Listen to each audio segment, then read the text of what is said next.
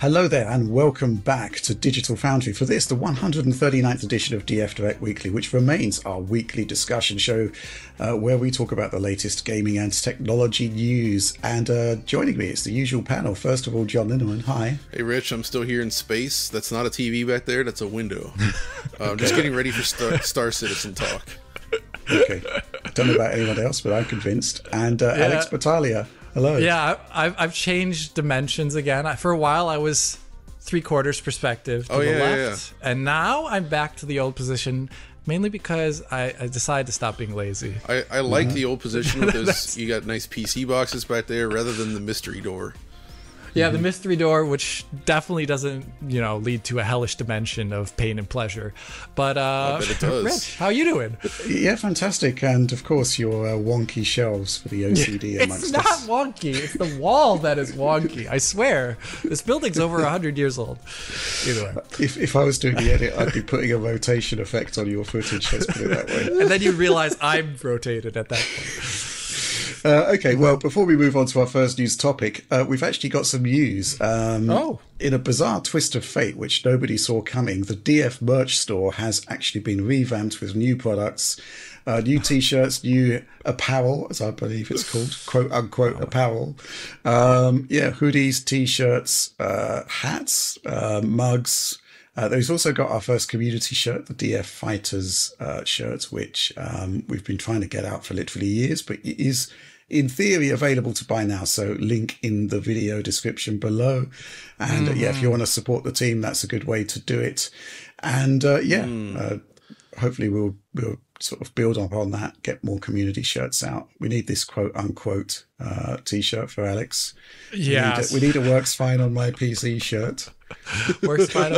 also, I like the the quote uh, the drop water on it. I, I wouldn't mind mm-hmm. a drop water drop on it. Drop water sure. on it, yeah. Just like yeah. dumping a whole cup of water onto a CPU or something. Yeah. Okay. It's so good. So, uh, Alex, what what would you say then uh, for Rich's presentation of the merch on a scale of one to Linus? How did he score? I mean, it was shillerific, but it could have been could have been a little bit more intense. I mean, Linus is been. really good at that. I gotta say, but uh, uh, like you know, selling merch, like that's the thing, right? But that's pretty good, I'm Rich. Not, you did. You I'm, did... I'm, not a salesman. Sorry. All right, all right. No, no, yeah. Mm-hmm. I'm convinced though. If if I was, I wouldn't have been calling the merch store a bizarre twist of fate. But yeah, I know this was long and planning. Rich. Yes, meticulously, carefully planned, and definitely all our plans have now come to fruition uh, apparently. Uh, but anyway, look, check that out. It's going to be awesome. Um, and uh, yeah, we'll update you with new products uh, as and when they appear.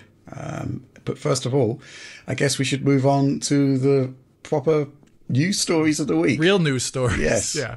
Okay, so first news story of the week. Well, that's actually a news story of last week. um, um, the last yes, of week.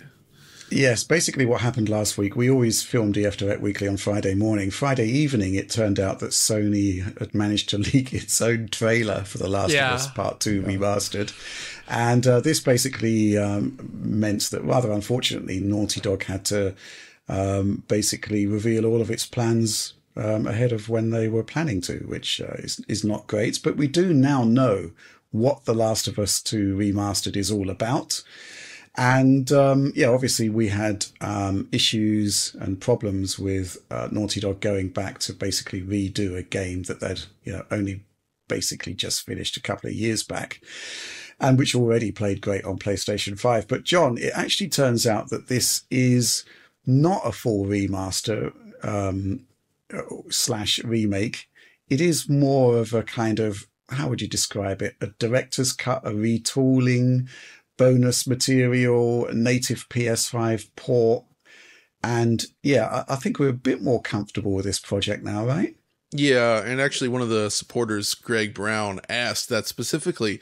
Do you think Naughty Dog would have been better served calling it TLOU Part two, or TLOU T Loop Two Director's Cut, since it seems like they used remastered to match the remake of part one. Right. Right? Yeah. Seems like it would have been similar right. to Death Stranding's next gen edition, which didn't see the same backlash. And I 100% agree. Uh, this feels more like a director's cut release than like a proper remastered sort of game. And yeah. I think that it sort of when you see the remastered tag on there, it makes you think it's something perhaps more than it is. Uh, but most of the new stuff they've added is much more in line with a director's cut release, right? Uh, Yeah. Where it's like, you know, unreleased content, new maps, some new modes, and all kinds of stuff like that, in addition to some improved visuals.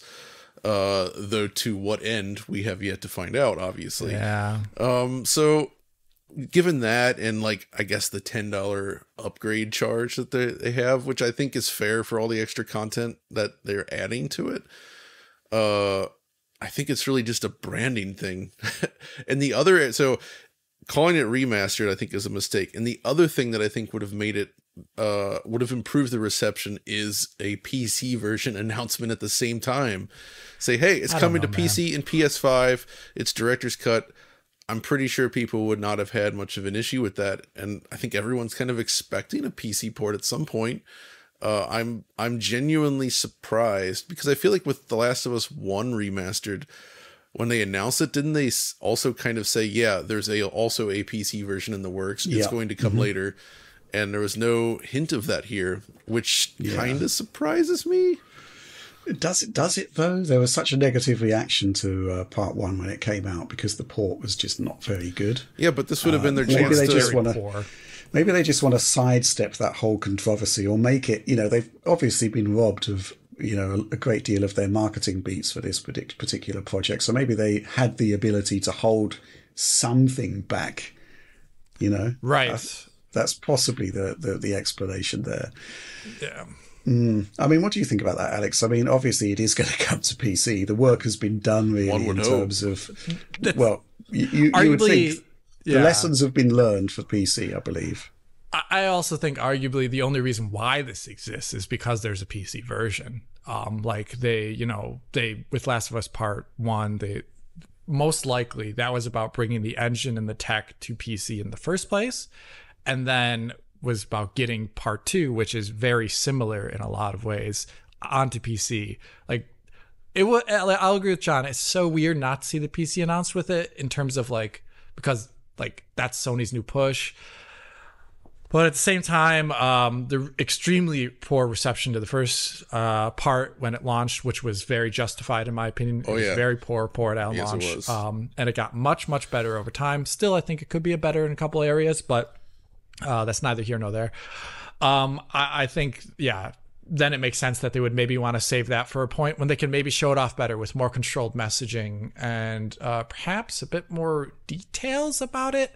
One thing that I would have really liked about a, about this is they did have like a short blurb. It's basically a sentence about uh, what is better and beyond DLC uh, equivalent like changes to the game and that like um, that like roguelike mode they're adding. Um, beyond those, they talked about like uh, 1440p upscaled to 4K resolution for a performance mode. Yeah. But they don't say necessarily what they mean by upscaled there. I Do No, they it's going to be just a sta- It'll be like part one, right? Which is Yep. just you know Yep. 1440p upscaled to 4K. Nothing crazy there. I mean, they could. I mean, they could, I suspect, do an FSR2 pass, but I don't think they need to. Um, yeah, basically, if we look at this, it's be saying that uh, it, enhanced graphics, native 4K output mode in fidelity mode, 1440p upscale to 4K in performance mode, unlock frame rate option for TVs that support VRR, increased texture resolution, increased level of detail distances, improved shadow quality, animation sampling rate, and more, which kind of sounds similar to what was happening in prior uh, native PS5 ports of Naughty Dog games. I right? think, Rich, the Yeah. thing is about that is uh, the the unlock thing for VRR TVs is the is the key. Like Yeah. if you look at the Uncharted collection, for instance, if you run it in native 4K mode and just turn off the frame limiter, it's actually pretty high and close to 60 FPS, if I recall. Yeah, but like part one had really big issues with that mode. Ah, that's true. You know, Part like one wasn't. Oliver talked about it back then. I don't even know if it's in the game anymore. But I feel Is like the the- 40 FPS mode still this- in the game on the first one. I guess the question is: Is this going to be heavier than that? I suspect not, because it doesn't seem like they've done as much to it. I don't Hmm. know. We'll see. I mean, I think the game in its original form still looks absolutely superb. Like, I think it looks Yeah. better than a lot of modern, uh, current gen games being released these days. Uh, it's but obviously it had an insane amount of money and time poured into it. So yeah, Yeah. Mm-hmm. Yeah, so yeah, there has been some controversy, which I think is a bit sort of overblown about the fact you need to pay for the upgrade. But you know, ten dollars for what is essentially DLC, I don't see that being a problem. It's actually more than that, really. I mean, it is a native PS5 version of the game, but I think the point is that there's a perfectly good PS5 version already. You've got the 60 FPS unlock for the PS4 Pro version, which is, you know, if if you're happy with that, you know, that's Yeah. basically um, one of the big key enhancements that you would have expected to get from PS5, and you've got it for free if you want it. So I don't really have too much of an issue with the pricing. Um, you know, there are Mm-hmm. comparisons to other games which have, you know, done free upgrades. You know, like The Witcher Three, for example. But um, Gears of War, Gears of War, yeah, another one. yeah, that's another one. I don't really see a problem with charging like a ten dollar upgrade fee, and uh, it's not as if you even need to spend. You know, I guess it is going to be a full price product, but there's nothing stopping you buying a used copy of uh, TLOU Two on PS4 and and just paying the ten dollar upgrade, right? So I don't really have too much of a problem with that. Um, and I guess this sort of leads us on to the discussion of, you know, what's going to happen with Horizon Zero Dawn, which was the other remake slash remaster slash unknown, as to what's going to happen with that. I'm wondering whether it's going to be much the same thing as this, where it is, you know, I suspect it would have to be more than that, I guess. Um, it could well be some sort of uh, enhanced version of Decima, I don't know. Um, any thoughts on that one, John? I mean, that's kind of like the big unknown now. We were concerned about The Last of Us Part 2 getting a remaster, and that's kind of not really a concern anymore. But where do you think this leaves Horizon? Mm, I feel like they're gonna have to do. Do a bit more. yeah, I feel like more work needs to be done to bring that up to spec because the whole point of The Last of Us Part One uh, was to bring it up to spec with the Yeah. the sequel, right? So that they actually look comparable. It's using that technology. It's, you know, obviously a lot of the technologies developed for part two went into that. They also pushed it a little bit further in some areas, but by and large, it's very much a. Those two games feel like, you know, they're connected directly. Horizon Zero Dawn, not so much. That's significantly less impressive than the sequel, as you would hope. But uh, so I feel like a lot more work would need to be done if the goal is to bring it up to Forbidden West, which maybe it's not actually. Uh, that'll be the question as well. Is it is it just going to be that? But didn't that also receive a 60 FPS PS5 patch? Yeah, exactly. So what you know, they're gonna have to do more to it. It's just oh man. As I said before, open world games like that, um, and I know I a lot of people love them, but I and I enjoyed Horizon as well initially, but those are the types of games I just don't see that much purpose in replaying and playing. You know what I mean? Like The Last Yeah. of Us is is almost like I would say a film. I mean, yeah, it has a lot of cutscenes and but there's plenty of gameplay in there as well. But you know, revisiting something like that is like popping in a film that you enjoyed and going for a second round, right? And that's I think that's quite enjoyable. But these open world games, like revisiting them, just It's a lot of time. it's so much time commitment for you know something that I better stop before I get in trouble from Horizon fans. Actually, but well, I mean, it's fine to have an opinion about something. You don't have to get in trouble about it. I mean, and just my, it, like, I'd say like The Witcher Three is one of those games where I could imagine revisiting it and at some point in time because you would maybe make uh, moral decisions in the game, which could have ramifications for the larger story, which is the big part of The Witcher games in general. Oh, I'm so Uh, I'm so, glad I turned the you corner know. on The Witcher Three after years of not enjoying it, and then finally, Yeah, I mean- playing all the way through it. It you get it after a certain amount of time, and it's mainly due to the storytelling and the moral decision making. The open world trappings are obviously Oh. still an issue in the world in the world of The Witcher 3. I would have been happier with a smaller game world that was more uh, detailed and dense. But Yeah. you're right. That's not why I love The Witcher Three now. It's Yeah, like Skellige else. the game or Novigrad the game. That would have been interesting. Uh, but yeah, I, I see exactly what we're talking about here. For me, I really still hope they're not making anything on that, and I'd rather see those resources spent toward a new, unique, smaller experience for that same amount of development time and money. It doesn't need to be another AAA open world game. It could literally be just a, like a really small, short experience, Or and that's enjoyable. if they must do a remaster, Killzone Shadowfall. Killzone, Yeah, remaster one of the Killzone games. Actually, yeah, I know people would, people would rather have Killzone 2, I would say, but I actually think Shadowfall I I maintain is a really interesting, well designed game that felt like they were looking at something like Crysis and they wanted to make their take on that. Uh, Yeah. But unfortunately, it didn't register with a lot of people, and it does have some rough edges. Uh, it's not as straightforward as like the typical Killzone campaign was, and yeah, it's uh, it, Yeah. It, it landed with a bit of a thud. But I still think that there's there's something really cool and smart about that game, and it's a lot of fun to play, and it could Well, really coming up to the 10 year anniversary there, John. That's right. Oh yeah, good point. That's right. Oh my still goodness. still holds up. It's it's Yep. a, a beautiful game, and it sounds Mm-hmm. amazing too. Like good lord. Mm-hmm. Absolutely, yeah.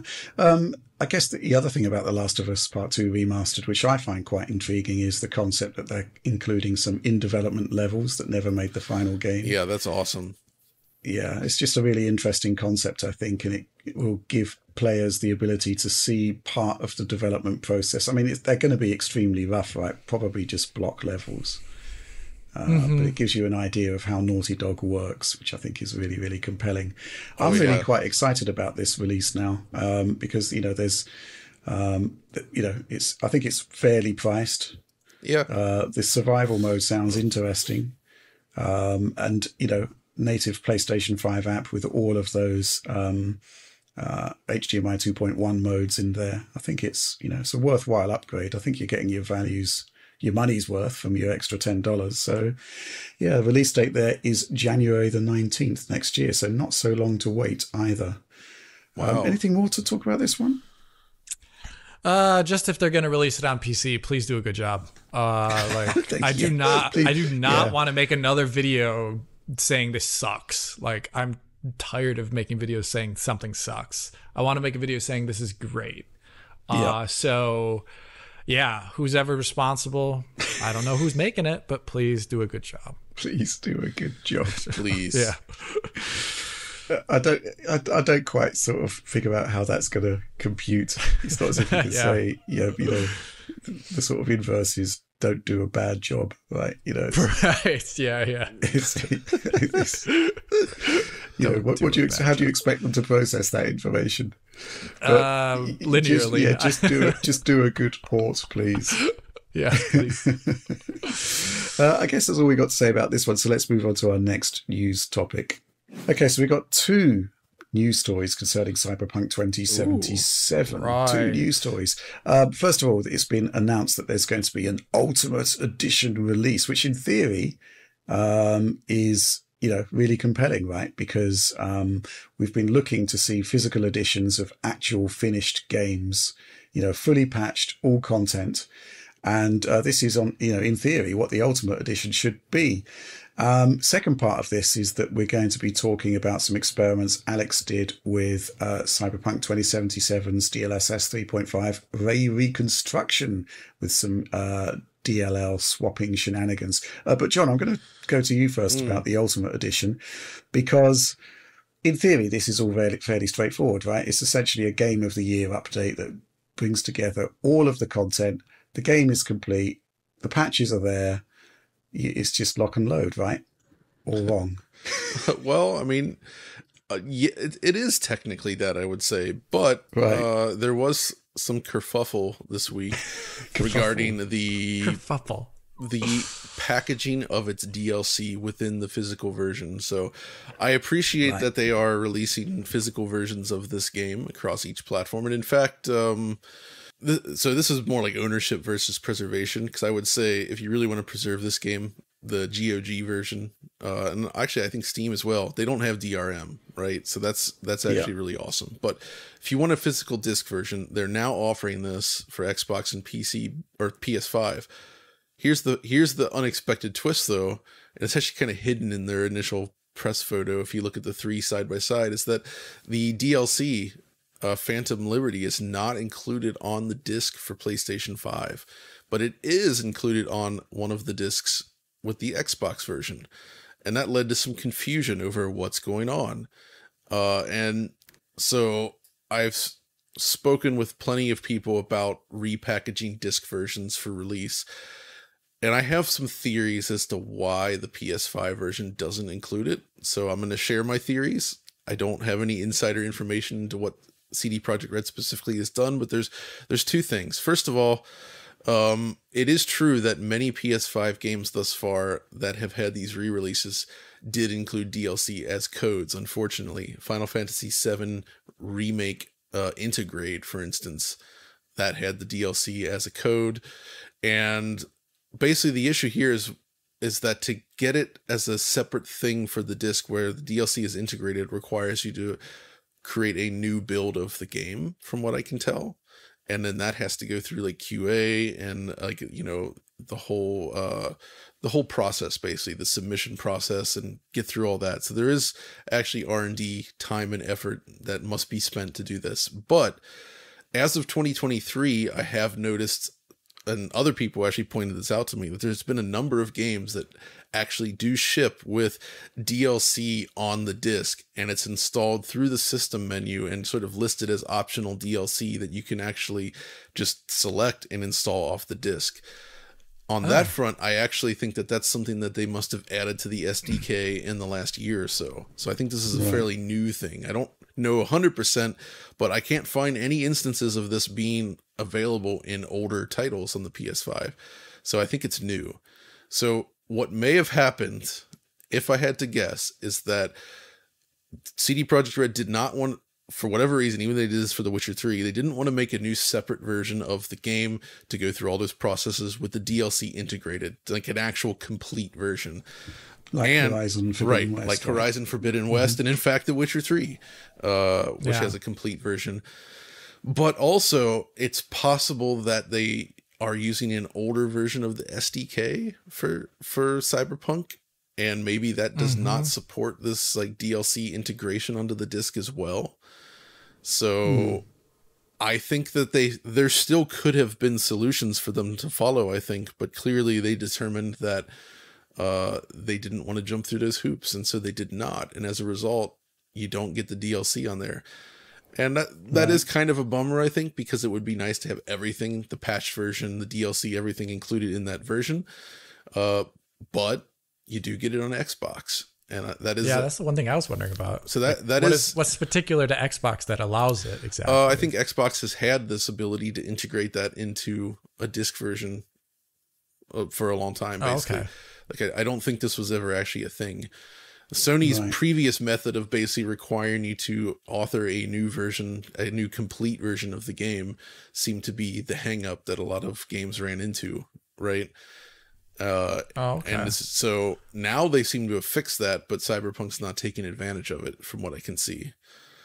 So it's kind of like right. it's not really a case of like anybody specifically is at quote unquote fault here. It's more like uh the the way things played out, none of the solutions happened in the right order, right time to sort of allow them to do what they wanted to do for whatever reason. And as a result, you know, this is what we have. Although I did see some funny theories from people online that saying it's oh it's actually because uh, CD Projekt Red is still salty at Sony for taking their game off the store. Clearly. And I was thinking I'd love to see that in a business review where where they quote unquote are salty and won't do something for a release because they're mad at another company. This is kind of bizarre because, you know, we're talking about, you know, multi million dollar businesses here. Yeah. They don't interact in that way. no, they do not. You know, this kind of pettiness that exists within the fanboy community does not translate into the boardrooms of companies No, like not like Sony. Interactive Entertainment and uh, CD Projekt Red. It just doesn't. It's just a logistical issue, right? One way or another. Mm-hmm. That's what that's what it is, right? And you know, it's just it's just bizarre. Some of the stuff I see posted online, utterly bizarre. Um, yeah, I don't really know what to say about that. I guess it is just, um, you know, on the one hand, you're quite right. You know, th- in terms of preserving the game, there are DRM free versions Yep. available on PC. But you know, you would have liked everything to have been collated together for console owners as well. And there is a case of preservation of specific versions, right? Also, um, the PC version, not surprisingly, does not come with discs or physical media. It is code based. but it is of course DRM free. But uh, when Baldur's Gate 3 was announced for physical release, somebody actually asked Larian about this, like why is the PC version just a code in a box? And they had actually explored different options. And one, they found that the the number of users with Blu-ray drives in their PC Yeah. is so tiny, right? Zero. So that would have like been no useless for most people, right? Uh, DVDs not viable, just too small. Would have taken an insane number of them. But they also actually looked at USB as an option, like a USB key. But they found that the reliability of them was was too low, and it would have resulted in potentially too many cases of defective product ending up in the consumer hands, and it's just a hassle Oh, for wow. everyone. So it's interesting that they actually did do the legwork to try to find a solution for that, and they basically determined that it's not worth doing.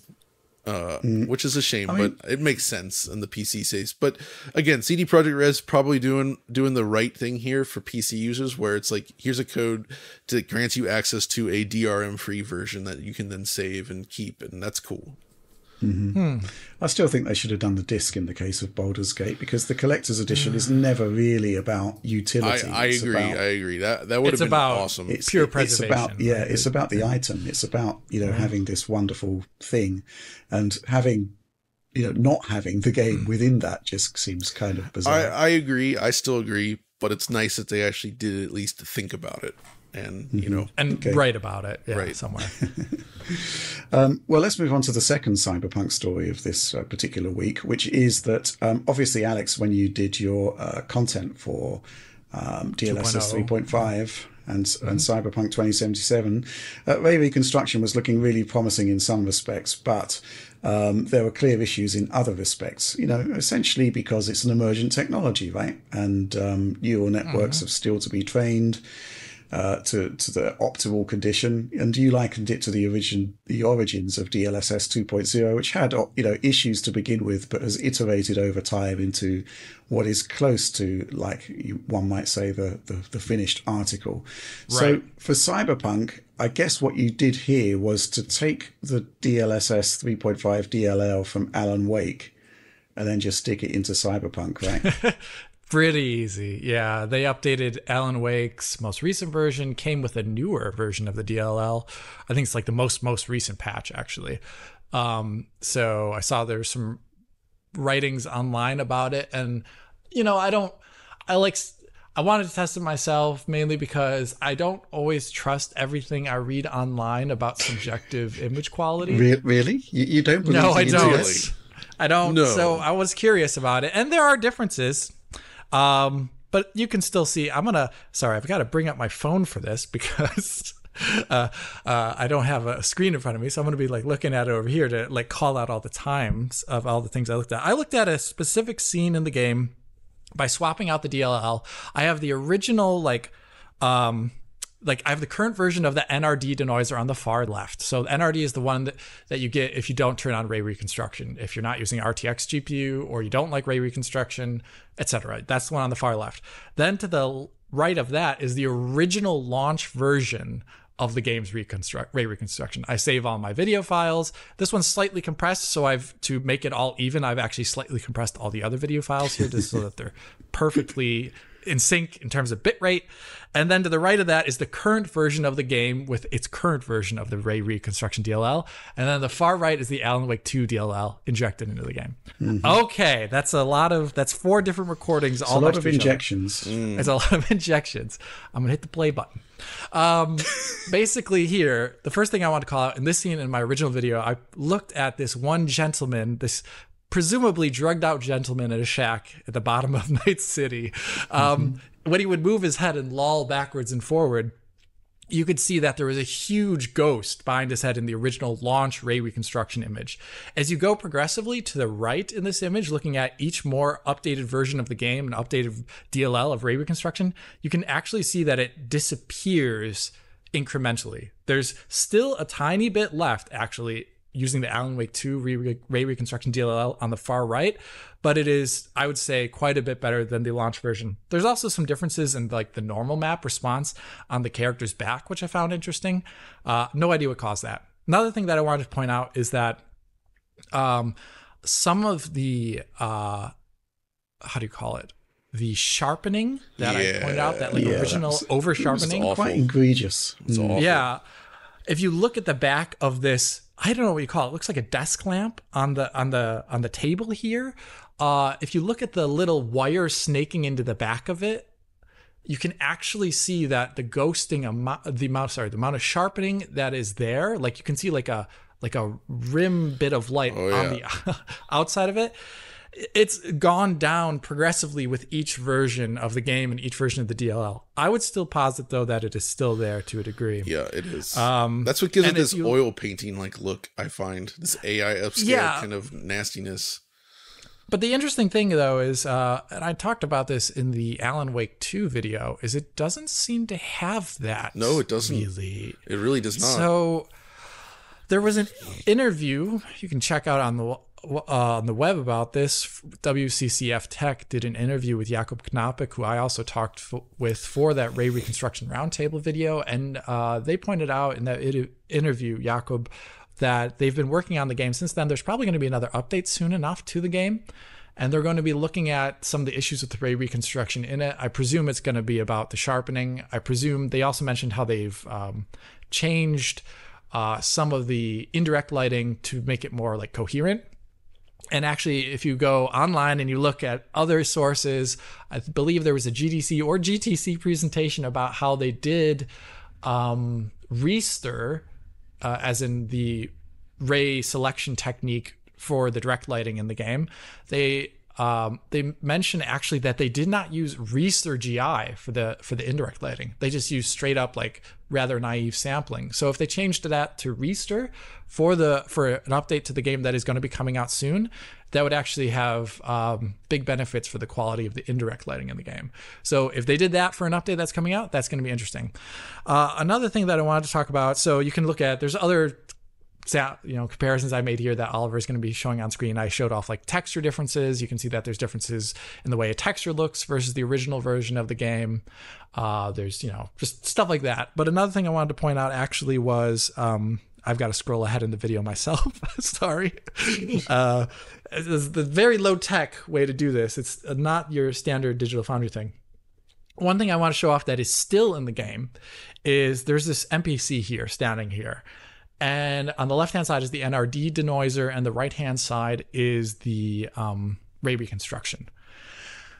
Uh, and one thing that the original denoiser has issues with is actually doing any sort of like in indirectly sparsely lit areas. Oh yeah. Uh, the NRD de- denoiser has trouble actually getting any sort of like specularity looking right, any detail, shadow detail. It's it's pretty rough actually.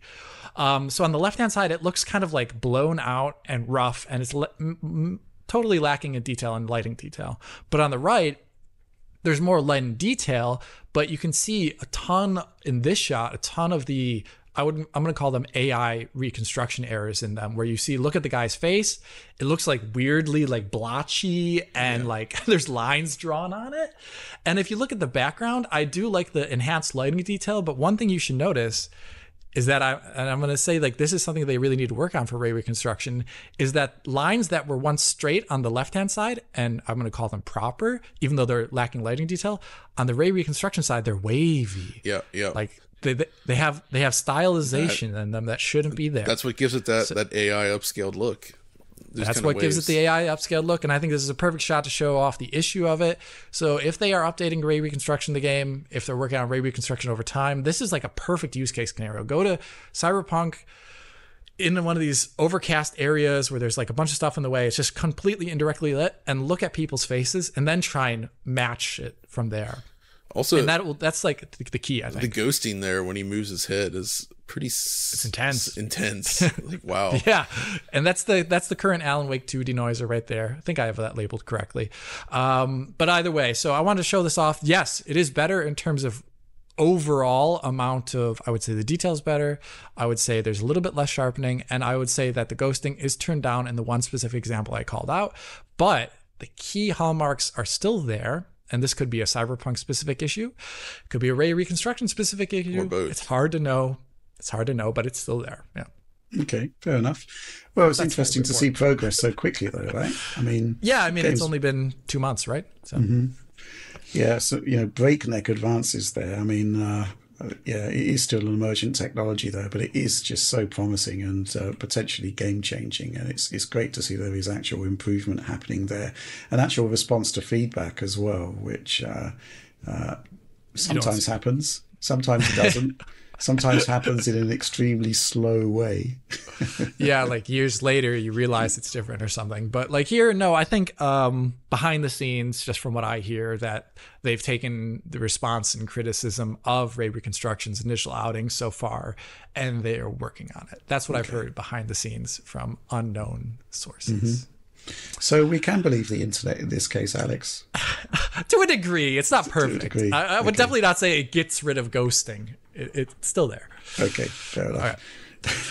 Uh, let's move on to the next news topic. Um, so this one is um, slightly alarming and, and, and, disappointing. There's a report from GamesIndustry.biz this week concerning um, year-on-year sales trends for the consoles.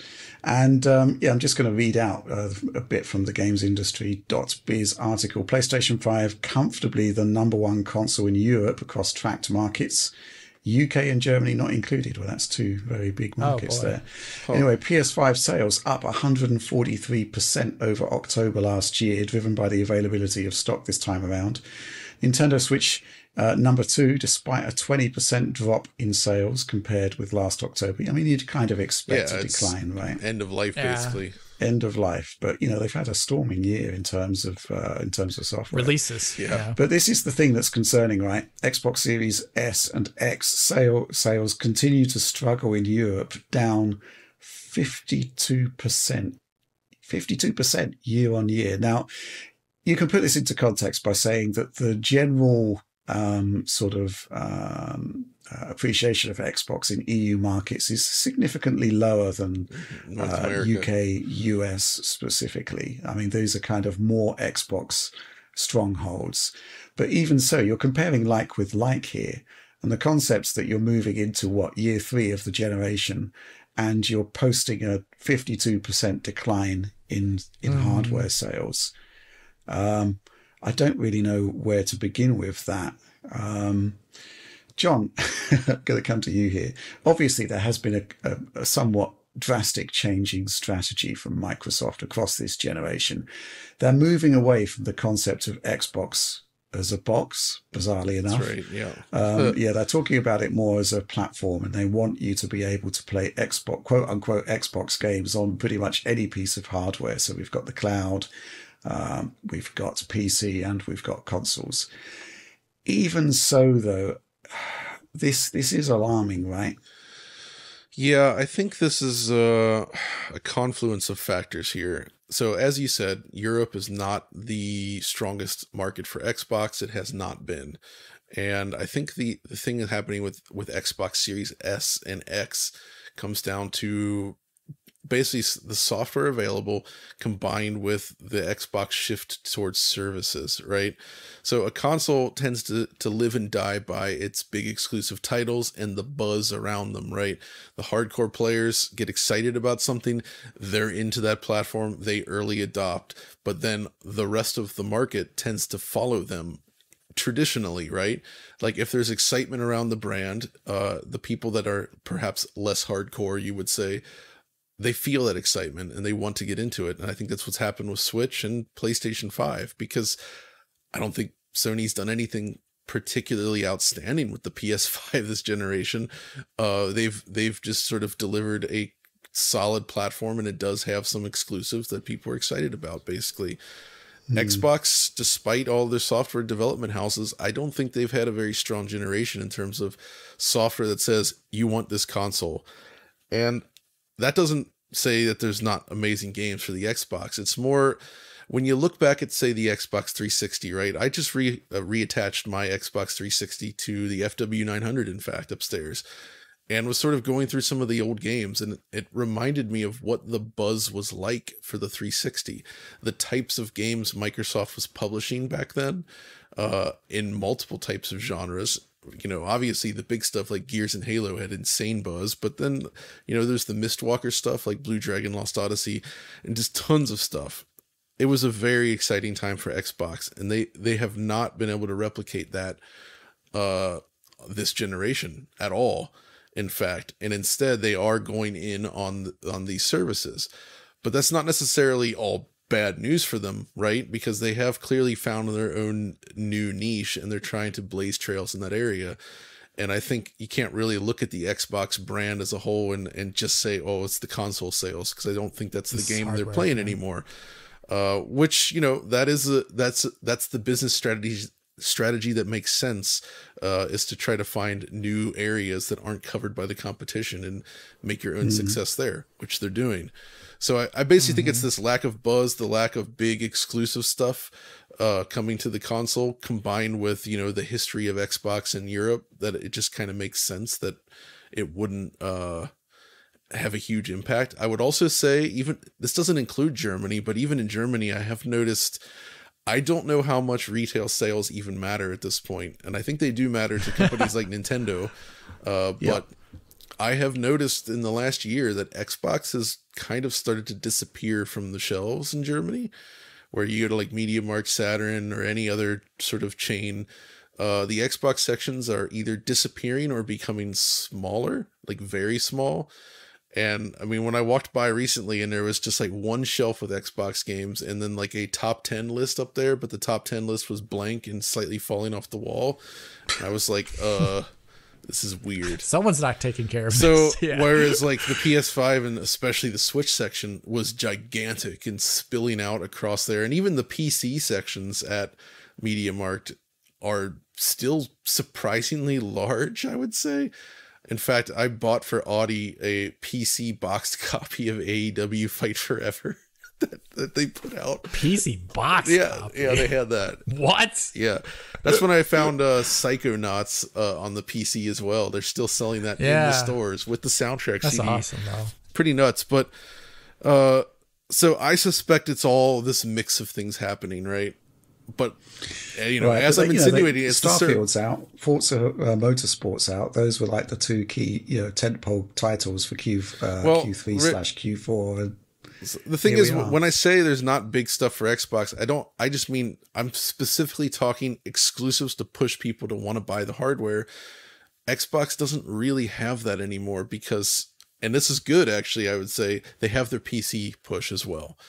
Uh, you look at a game like starfield right? Bethesda games where are those games the most popular? I would say pc Uh, they are pc games first and foremost that obviously is useful for Xbox. It has plenty of sales on Xbox, I'm sure, but I think the driving factor there is a lot of people are going to play on PC. And that's fine. They own the company. That's they they put that game out, right? So wherever they get Yeah. the sales, they're they're benefiting. And that's going to be the case with a lot of this stuff. So it's not really doom and gloom in that perspective, but then there's been it just the, the state of console gaming when you really think about it I, I just can't i mean you you were there rich you remember what the xbox 360 was like right like the buzz around that thing everything that could have gone uh, Microsoft's direction, apart from the Red Ring, yeah went in Microsoft's direction. They had a year head start. They had a cheaper console. They had a more powerful GPU. Um, and, you know, they had uh, momentum, right? Because you know, that year head start gave them momentum. They had third parties lining up to support the platform with, with, with great games. And then by the time PlayStation arrived, um, you know, the third parties were really sort of, you know, getting into the swing of things, right? You know, 2007, where, you know, there was actually competition from, you know, from, from Sony. Um, all of those third party games, pretty much to a T, were all better on Yep, Xbox yep. 360. And you had the first party stuff, which was just phenomenal. Which- um, I, I still think Man, you know, right? stuff like Crackdown was just like game changing. And you know, if you go back to that entire period, there were just you know incredible games. You know, Bioshock came out fairly early on in the generation. Uh, same with They had- Assassin's Creed. The first Assassin's Creed 360 games. Yeah. It was um it was actually you know it was a proper event. Okay so the game did you know had some issues but you know you were seeing things that you had hadn't seen before on a console and it was fun it was a phenomenal time. Although there's still i mean assassin's creed was multi-platform better on 360 but bioshock while it did get a ps3 port it came much much later so there Yeah. was cases where third-party games were launching first on 360 same with something like mass effect mass, Mass effect came out in 2007 My gosh. They had Halo Yeah. 3 that year. You know, all the Bungie Halo stuff coming out. I mean, we laugh about stuff like, oh, there's Master Chief on a Mountain Dew can, right? But like that that That's was part was. of the energy that was driving it. People really knew Xbox. Like it was a big deal. And that was probably the time when Xbox had the most success in Europe, I'd say as well, right? Like uh it it captured a decent share of the market here as well. And it was Yeah. it was a big deal and it's just we've lost that. I, I should point out that actually in Europe, PlayStation Three w- did buck the trend versus you know UK and US. It it was it was a, a big seller in Europe, even with all of these Yeah. negative factors attached to it. I mean, it's quite funny now when we you know whenever we go back and look at Xbox 360 and PlayStation Three um, software head to head. The 360 is is so far ahead. so far in so- ahead. Yeah. So far ahead. So when you've got both that. resolution and um, Performance. performance, uh, improvements, uh, that's that's quite a big gap. I mean, the exceptions were pretty much stuff like Criterion Games for somehow was able to make really good versions on PS3, and then also yeah, like the PS3 Space was the lead platform. Yeah, mhm. That's true. So those were good. Uh, I guess Final Fantasy 13, but there's Yeah. there's really there's not that many. it's most mostly 360 has the lead. I I, Yeah. I would say I I'm curious what you guys think. I look at what's happened with Xbox over the last couple decades, and I think Don Mattrick's push towards Kinect and the way that they marketed through uh, the Xbox One at launch was like the pivotal point that that caused the most like damage to the brand. Yeah. and they've been forever trying to recover from it. I think the brand itself and the mind space around it is way better right now than it was at the time. But they Sure. they squandered so much of their goodwill and like the excitement around the brand because of that one decision, which one could also Mm-hmm. lay at the feet of Nintendo. So in the end, the Wii may have damaged the Xbox damaged the Xbox because they, you know, that's what Kinect was about was an answer to the Wii, right? So yeah. and it sold well. I did mean, initially. people liked. I mean, some someone liked Kinect apparently. Um, but I do They, they find it liked funny. it for you know uh, the first couple of day. hey, games they were- the dancing stuff was good on there. it was fun. yeah. yeah, Um, One thing I want to talk about that I think is funny about this is that that Dominatrix era, that initial push, and then the marketing around it kind of killed it all. But the launch games are kind of more interesting than we got at launch on Xbox Series consoles. I agree. No, I was thinking that too. you Like, got stuff like Killer Instinct, man. Like that game's awesome as heck. And like the launch for the series consoles, you had like some patches to bring up some games. okay, look, it's not just to Killer spec. Instinct. They also had so Dead Rising three, which you know Mm-hmm. it had some technical hiccups, but it was good. They had Ryse, Son of Rome, right? They had Forza Motorsport five, which going back to actually. It's pretty solid. It looks amazing for that platform. and It has more personality than the most recent Forza, I would say. Uh, it's really solid in that. Uh, they had Crimson Dragon, which not amazing, but it's kind of a spiritual follow up to Panzer Dragoon with some of the same people involved. So it's neat that it's there. But then over time, you would get stuff like in the first three years of that system, we also got stuff like uh, Halo 5, the Master Chief Collection, which, while flawed at first, was, you know, it's still pretty cool. Sunset Overdrive was there. Um, Gears Ultimate Edition, I guess, was there. And Yeah. there was actually there's a bunch more stuff uh, that's slipping my mind at the moment, but there was some some really cool original stuff coming out. Oh, Forza Horizon two and then three, I guess, also came out during that period. Uh, like the first three years of Xbox One, the only reason it really kind of didn't fare as well as at the PS4. That was like Sony on fire in terms of just like putting out quality stuff with a good machine, right? Yeah. Like both of them were competing at a very high level, I would say, and both platforms were actually quite good. Uh, Xbox's problem simply stemmed from the way they initially pitched the one, following you know the Kinect stuff, and then the fact that the console was seen as less powerful, which it was versus PS4, which was really just you know a, a weird turn for Xbox since up to that point the Xbox was all about more being more power the most powerful console on the market. what a drop! Uh, and they got My back to that of course but yeah so man it's just weird how how much how they've really struggled to get out of the shadow of that uh, but you know again they found a new market with game pass and stuff like that and i you know i i think they're doing fine but it is Right. interesting to see I think there's another market. thing. You're right about the confluence of, of different factors, and um, PlayStation's strategy has been extremely straightforward, which is to say they want to get consoles in homes, right? Yeah. So you're looking at this 143% year on year increase. Um, what have they done to do that? I mean, they've built up momentum by basically discounting the console. I mean, over the summer, I bought um, a PlayStation 5 for £400, massive discount. Right now, Right. it's um, you can get one for as low as three hundred and sixty pounds. There's, there's some crazy stuff going on there simply because they want to shift consoles, get consoles into homes, get people converted into PlayStation Plus subscribers, and it's basically you know free. Well, I wouldn't say free revenue, but it's revenue that's Yeah. that's accruing every month per user basically because you kind of need that subscription. Um, we'll talk about subscriptions in a minute, John, because that's Yeah. slightly worrying as well. But I think, you know, basically there's momentum there with PlayStation where the strategy has been really straightforward. Discount the console, get it out there. It's only now with Black Friday that I'm actually seeing um, discounts on Series X. You know, Yeah, three hundred and sixty pounds. Yeah, it's like you know, why didn't this happen? also the, the storage card finally is going on sale yeah, that that little Seagate card. drive, Jeez. which yeah, I I needed one of those. Hmm. did you buy one? yeah, Okay, because it's like you know I, I'm tired of running out of space on there. So, yeah, fair enough. but they were the one terabyte one was like over 200 for so long, and I found one for like 129. So It's still such a dumb price, though. was the one or the two? Uh, I mean, either this- way, yeah, this- it's this coming. It's in the mail. percent, this fifty-two percent decline year on year is alarming, but you've got to kind of couch it within the overall business, right? Which we Strategy? just don't, don't know. It's just one alarming statistic. The other the other thing though, we were talking about the Xbox decline and Sony's doing very well in the market, but I actually think PlayStation in terms of what they release has lost a lot of its identity when you look back to PlayStation 1 through 3 and even 4 with its indie push. It was all about this like eclectic mix of of titles. You had the big AAA stuff, but in between was all this like more smaller scale games, often pushing like wild ideas and concepts, tons of Japanese developed stuff.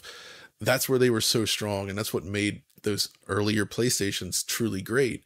Playstation 5 barely has any of that.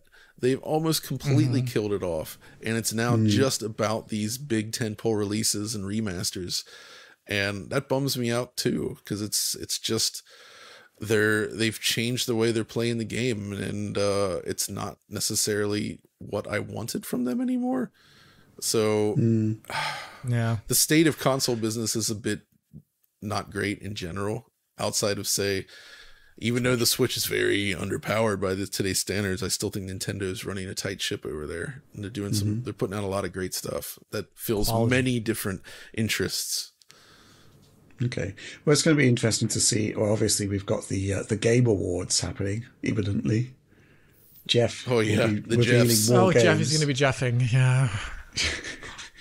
Last year, there was basically no Microsoft presence at the awards whatsoever, apart from Phil being there physically in the audience. Physically. There wasn't really much in the way of announcements or anything, so I'll be interested to see whether they actually try to turn that around, try to drum up a bit more hype. I mean, there's stuff happening, so you'd expect things to be uh, to be to be happening in due course. So let's find out what they are, I guess. Um, but in the meantime, I don't really have too much more to add to this. I guess we can move on to the next topic. Okay, so our next topic is that, well, this week Half Life uh, celebrated its 25th anniversary. They've updated the game. Um, so it is now actually Steam Deck verified. you can actually play it on Steam Deck, which is a Yeah. good thing. And um, there was a documentary released. I've not actually watched it yet. I've been a bit too busy, but John, you have. And uh, what do you Yeah. think? Yeah, so this one was done by the awesome uh, Noclip guys with Danny O'Dwyer and his team over there. Super nice dudes doing awesome work. Um, Mhm. and this is awesome because they got a lot of original developers from Valve that worked on this game and really put you in the mindset of what they went through to reach the finish line on the original Half Life. And you know, a lot of the stuff I kind of knew in terms of the ambient detail and what was already out there, but they sort of fleshed it out with some additional detail. So I do recommend watching it for that. But I still love how uh they were just like this ragtag bunch of of people that wanted to just make this cool game and they had Sierra as a publisher at the time. And this this is famous that they did this, but the end of 97 comes along, the game is supposed to ship. This is what had been previewed and then they decide this is not good enough. Uh we need to we need to remake everything basically. And they did. They did. And as they say in this, um they they basically set out to do it on their own money because the publisher, you know, saying to the publisher, yeah, we don't like what we've made. We're just going to redo it all. Uh, you know, a publishers is not going to want to hear that. it's like pay for this Not all over again, right? Especially Yeah. when you expect it to come out. And but that saved the day. And as far as I know, they kind of did the same thing with Half Life Two as well, some some Right. years later. So that it's an interesting situation where they have enough funds to be able to develop it up to a point where they're like, okay, now we know what works and what doesn't. Let's redo everything with this new knowledge, and that's what they did. But Half Life, Half Life was, man, what a special special time. Uh, I don't know. Did, did did any of you guys buy this on day one back in the day? Do you remember the hype? No. I do. I I was remember the hype. I remember playing it. I played it in work, but uh, I don't remember the day one experience. I part of it. definitely so this was this was a time of big releases. I was actually more hyped at the time for Sin, and I bought that day one. But anybody that's played that uh, from the it's uh it's a gigantic mess. The the launch day version, like it's one of the most broken games I've ever seen. Like it's completely busted. Go look up the original Sin release. It is a mess. So then we have Half Life coming along, and I'm like, okay, that also looks great. I'm excited for this. I go to the store with a buddy of mine, an EB game selling PC games. I pu- I buy Half Life. He buys King's Quest: The Mask of Eternity, and we're like, well, we'll just take turns. I'll play Half Life, and you play this, and then we'll swap. I think I got I selected the better game in that case. Uh, Yeah. but yeah half life as everyone knows now i mean it was it was one of the first first person shooters to really try to put you in the center of like sort of a almost like a storytelling experience right all these scripted sequences and things happening around you and they specifically say in this documentary that they wanted something to happen like every i i don't remember the Three seconds. something Gabe said every three was seconds. it every three Yeah. seconds? That's Something that's like that, yeah. But it is something like that. Like something interesting must be happening all the time, which is a lot of work, I would say. But that's basically how it is. It's like you're always seeing something new. Things are always happening around the player in a way that you're not used to seeing. And then they put a lot of emphasis on the interactions between the player and the AI and the way that the soldiers react. I liked how they described uh, when they were struggling with level design in that original version, they actually went back and told the level designers, try to create something, put the AI in this box, see what they do, and try to experiment and build and watch their behaviors. And so they learned to build maps and areas and spaces that the AI itself worked well with. Right. So they kind of built the maps around that so that the AI could show off its best features or its ability to perform and interact with the player. And they absolutely mm-hmm. did that. And the way they focused on the sight lines, like there's that one part where the player enters a room, there's a catwalk up above, and then there's the lower space, and you spot the enemy soldier on the lower space first, but there's also guys above you. And just the way they move and react and, and behave with the player, uh, it was really truly revolutionary at the time. Just everything about it. It, it was also heavy, s- moderately heavy. I remember it running okay at launch, but I definitely this was the era where if you didn't have enough RAM, every time something big would happen, a game would like stutter as it fetches the data from the hard drive. So I used to think, oh man, I bet this was the coolest thing ever because like the whole PC would seize up for like literally like two or three seconds and kind of stutter as it would load the next thing. And that definitely happened in Half Life. Yeah. Uh, It's but yeah, I mean it's it's aged very gracefully, I think. But Mm-hmm. it also had it it had a, I would almost say a negative impact on the industry to some degree because it also it, it's the Grand Theft Auto effect that GTA 3 would have as well where it did something so well and so new that everybody else wanted to do this too. And I think it actually robbed us of some potentially great FPS games that could have been made as they shifted to try to copy Half Life or integrate Half Life like things. That's why I think we're lucky we got something like Halo Combat Evolved, which was like, no, we're doing our own thing. And they absolutely did uh, versus Half Life. But I think that's why games like Daikatana were perhaps, I mean, when you look at that schedule, it wasn't delayed that long. Like not by modern standards, it was nothing. But Daikatana was not that Felt well like it at the time. received at the time. Yeah, I and know. it does have some problems. Don't get me wrong, and those needed to be fixed in patches, like fan patches. But it's actually more of a straightforward Doom style game with some interesting things bolted on, and that just was not in vogue anymore at that point, right? And I think Half Life, I don't want to say to blame for it, but Half Life shifted expectations of what a shooter could and should be, uh, which definitely had a ripple effect, I would say. So I don't know. What do you guys think? Uh, what What are your thoughts on uh, Half Life? For me, I played it a year after release. Okay, that's pretty good. 1999, and um, essentially, I just remember going to a friend's house and them loading up what was oh my god, what's the level where you're moving around the on the car, uh, the the, the railway? Oh, The railway, uh, like on a rail or something. level? Is it? It's on a rail, yeah, yeah. And I remember just being like, you can push around a rail car and then get off of it. It just felt so, I don't know, it felt really free form. And that is actually one of the more free form levels actually in Half Life because you, you can go all around this track, get on and off the rail car. Doom Three has it Really too. well made. Doom 3 has it too. they had less that years successful. later. Yes, less successful. less successful. I don't like that part of Doom 3 that much.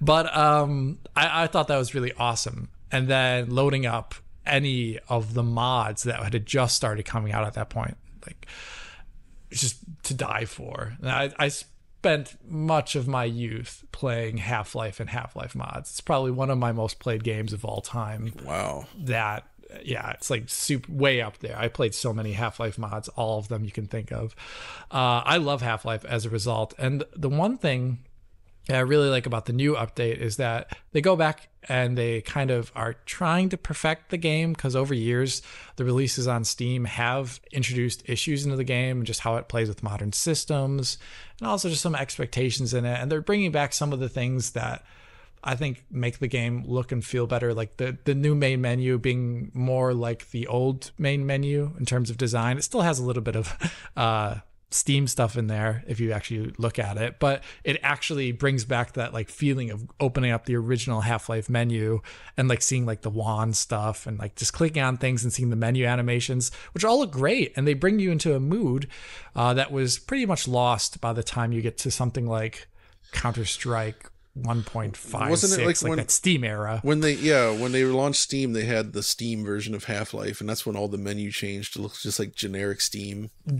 Super hmm. generic, non-moving. Half Life Two would change that obviously with the 3D background, but like it, you know, it's just stuff that like went away. Also, like adding in the ability to just click on and off texture filtering. Half Life is a game on the like.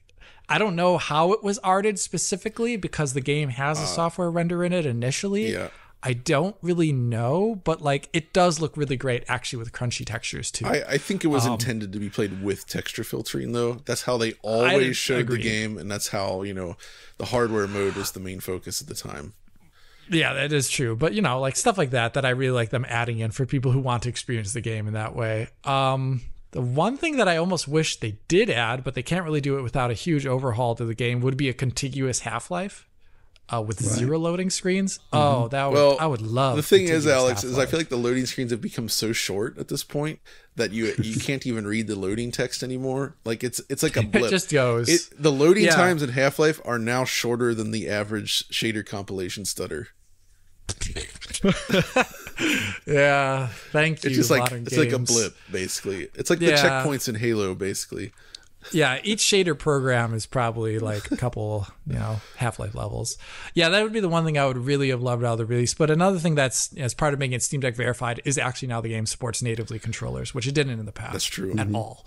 So if you want to play this game with a controller, I wouldn't. It's Half Life, but you can now, and that's a, probably going to be pretty okay. Should have brought the So- uh, split screen option from the PS2 version for some co-op or whatever. Yeah, I mean, I'm assuming you know there's there's mods on PC. I don't know if there's any split screen mods on funny. PC to my knowledge, but you know th- they've um, uplink decay. All these things are now in there. You can find PC versions of them, uh, which is All right, they. So, they put uplink in there, the demo, yeah, right? So that's now optional to play in there as well because they did that. It was a standalone demo of Half Life back in the day called This Uplink. is true. I've right? Mm-hmm. And it was, you know, it was pretty cool at the time because it was a separate thing from what was actually in Half Life as a game, game. Mm-hmm. right? So it was a, totally unique thing, and now it's officially in there as well.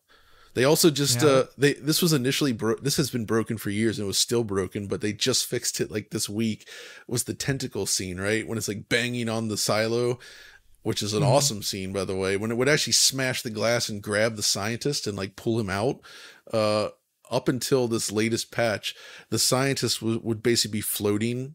So like the tentacle would try to reach him out, and it looked like he was like a couple meters away from the tentacle, and he would just fly out of the room. So they basically broke that, which was not broken in the original original version. Uh, Yeah. They've gone back and now fixed that too. Yeah, and, and one thing they did years years ago too is now Half Life can actually be played with high f- refresh rate. The original Half Life has AI turning speeds. Oh, speeds. right, right, to- so if you turned up the the uh, the frame rate really high, uh, say you'd be at like 120 or like maybe even 240, which is really easy in Gold Source, the AI would turn slow slowly that they could never shoot you actually as you were moving around. I love that. Or like AI couldn't like the your AI like Barney and the scientist, they couldn't like open doors correctly because they'd like turn like Couldn't this for. Like an eternity. Uh, but those are things, obviously, I wonder how the speedrunning community answers to all these things because the speedrunning community for a long time would abuse frame rate unlocking uh, for the Half Life games. Uh, so I have no idea what they're doing these days. Also, uh, separate from that, but I've been playing the Team Beef port on the Quest 3, which is also, you know, that's the Half Life VR port. Once I got that running, that's it's good. It's just like all their other conversions that I talked about last time. It's cool revisiting that in VR because now you can play Half Life 1, 2, and all the episodes, and Alyx all in VR Wow. which I mm-hmm. think is How is it? great. It's good. It's it's cool to have standalone Half Life on the Quest running at a high frame rate like that. Just mm-hmm. you know, it's fun to walk around within those environments and and see all that in VR. And the VR aiming and such is great. And it just you know, it's exactly what you would think, but it feels really good to play, and it's nice to have it. And I've actually replayed Half Life Alyx over the last couple weeks on the Quest Three itself, and I think it might be my favorite Half Life game now. I think it, Wow. Yeah, that Alex makes sense, is though. so good. It's so good. Uh, man, I don't want to go too much into that right now, but go. I did a video on it years ago where I was. I still think Boneworks is great too, by the way, but I, I feel like Half Life Alyx has aged better than than I expected, and it's just it's so smartly made. The level design, the encounters, it's true. It's it's like whoever did it, like they didn't lose the Valve spirit. Like all three of these games plus the episodes, they just they have something special. Like they're always trying to push boundaries in terms of just the scenario design in the things that you do in these games.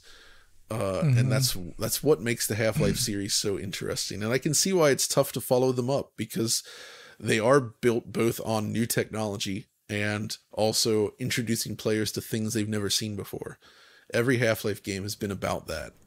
So and that's Right. not an easy thing to do. Wow. A lot to talk about with. Half Life. Yeah, it's Good great. game. It's amazing game. Uh, yeah, that documentary definitely well worth checking out. Um, but I think that's all we've really got to say about that one. So let's move Yeah. on to our next topic. Um, well, here we go. Star Engine, Star Citizen, another big 26 minute video posted uh, by the developers. Only 26. Only 26 minutes. Shame. For shame. Alex, why don't you talk us through it? This is your game. What's going on Yeah. there? What are we going to get excited about? so this year is actually something well they showed a, a a version of this video at the citizen con that i talked about three weeks ago now, 2 weeks ago. How long ago was it? Uh, but since then, they re-released it and they changed some things about it uh, because they that was showed a work in progress version of it. Like it had like obvious funny bugs in it with like the AI.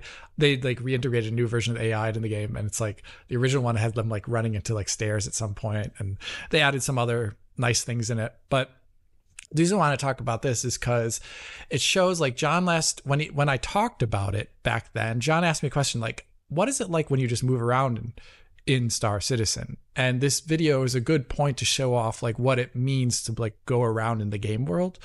Uh, uh, it takes some liberties with the aspect of like you would be in a ship in this game. You wouldn't be just like a free floating camera, but it is also constrained in the exact same way a ship is. Like at multiple points in this trailer, it'll go into what is like the quantum drive state where it brings you fast like close to the speed of light to actually move around in like a, a good pace. Otherwise you'd be taking you know a really long time to go between planets. Uh, but they do that multiple times in the trailer and you get to see like you just moving from one planet to the next or moving to like a jump point in the game. And it gives you a sense of the scale because it, you like start off at like the solar level. They start off with the really cool like Wing Commander recreate worlds origin systems, like the conductor opening up the level, like really great callback to the Wing Commander games or origin games. And then it moves into like looking at a planet. And that's like one thing that they added to this trailer that's really awesome is there's like the relative speed on the right hand side, and you can see it tick up close to like the speed of light at times. Mm-hmm. And they also show the amount of distance covered in the game because they're moving, you know, ridiculously far, like, you know, AU's levels at one point when they go through the jump gate.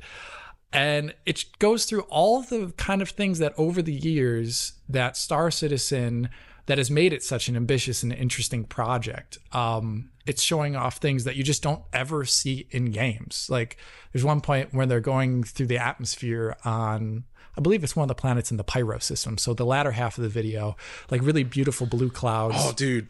And then all of a That sudden you see like right? yeah, I think it's you see a reclaimer, which is a ship that use that kind of is in the game, so pa players can salvage broken ships and like detritus in the in the universe Detritus. and uh, sell it on the market. And they they show it coming down through the atmosphere, and they show like all a bunch of people on the ship going around trying to fight a fire that had broken out on the ship as the ship Oh, yeah, goes in the central core. And these are things that like you know like multi-crew gameplay something you only really got in like star trek bridge commander if you've ever played it. Uh, a couple other games try and achieve it in a like um like in a 2d space but like actually a 3d space where that's just only one part of the game world that's very very interesting. And then it kind of just goes around from place to place showing you off showing off to you a bunch of gameplay systems that the game has been this is, there's a reason why this game takes a really long time to make.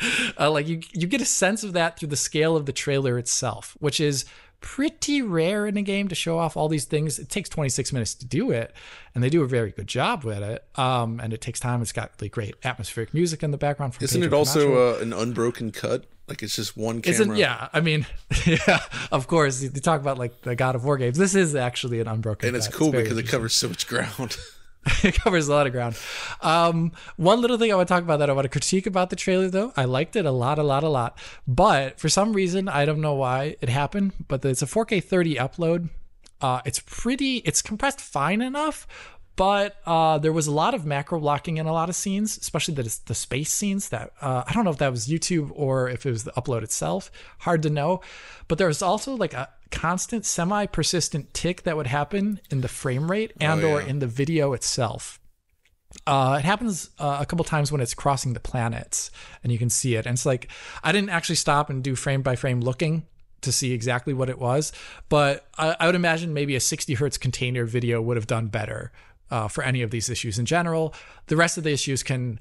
Another thing that's really interesting to talk about this video is they're showing off the game running in what is a DX11 client, actually. The game doesn't have Vulkan in right now.